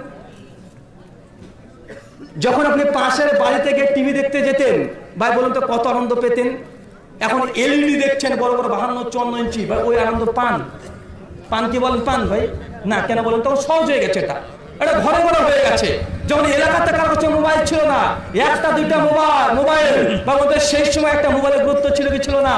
ছিল কেন? একটাই আছে। মানুষ সবাই তার কাছে বসে থাকতো, ওর নাম্বারটা দিত যে ওর কাছে ফোন করবি। আর ও কিন্তু প্রতিদিন রাত্রেবেলা দেখেন, মোবাইল নিয়ে চলে তো ভাই, তোর ফোন এসেছে। কত আনন্দ। ভাই, ছিল কি ছিল না? কিন্তু মোবাইল এখন সহজ হয়ে গেছে। এখন যদি কেউ দিন মিস কল দেয় তাহলে মা থাপ্পড়। মিস কল নাই। ভাই, আছে না নেই? তাই বাধা যতই বিশাল বিজয়ের আনন্দ ততই বাদ ভাঙ্গা তা আমাদেরকে বসে থাকলে মানে চলবে না। আলী রদের একটা কথা দিয়ে আলোচনা শেষ করব। তাহলে প্রশ্ন উত্তর শুরু হয়ে যাবে ইনশাআল্লাহ। বিশ, আলী রদের তিনি বলছেন যে, যুবক, তুমি কি শুয়ে শুয়ে ঘুমিয়ে কাটিয়ে দেবে সারাটি জীবন? তুমি এই দুনিয়াটি হোক, কর্মচঞ্চল, দুর্বল গতিতে ছুটে চলা, নিরন্তর ছুটে চলা পরিশ্রমের নাম। কেননা ঘুমানোর জন্য, বিশ্রামের জন্য কবরের জীবনটি তো আছেই। বা কবরটা বিশ্রামের জায়গা কি বিশ্রামের জায়গা নয়? কার জন্য বিশ্রামের জায়গা? মুমিন বান্দার জন্য কবরটা বিশ্রামের জায়গা। আর দুনিয়াটা হতে হবে কর্ম চলচল দুর্বল গতিতে ছুটে চলতে হবে। আপনি কত বিশ্রামের দরকার? আপনি কবরের জীবনটা পুরোই আপনি বিশ্রাম। কিন্তু এই পৃথিবীতে আপনাকে কাজ করতে হবে, কি হবে না? তাই পৃথিবীতে কাজ করেন, আর কবরে আপনাকে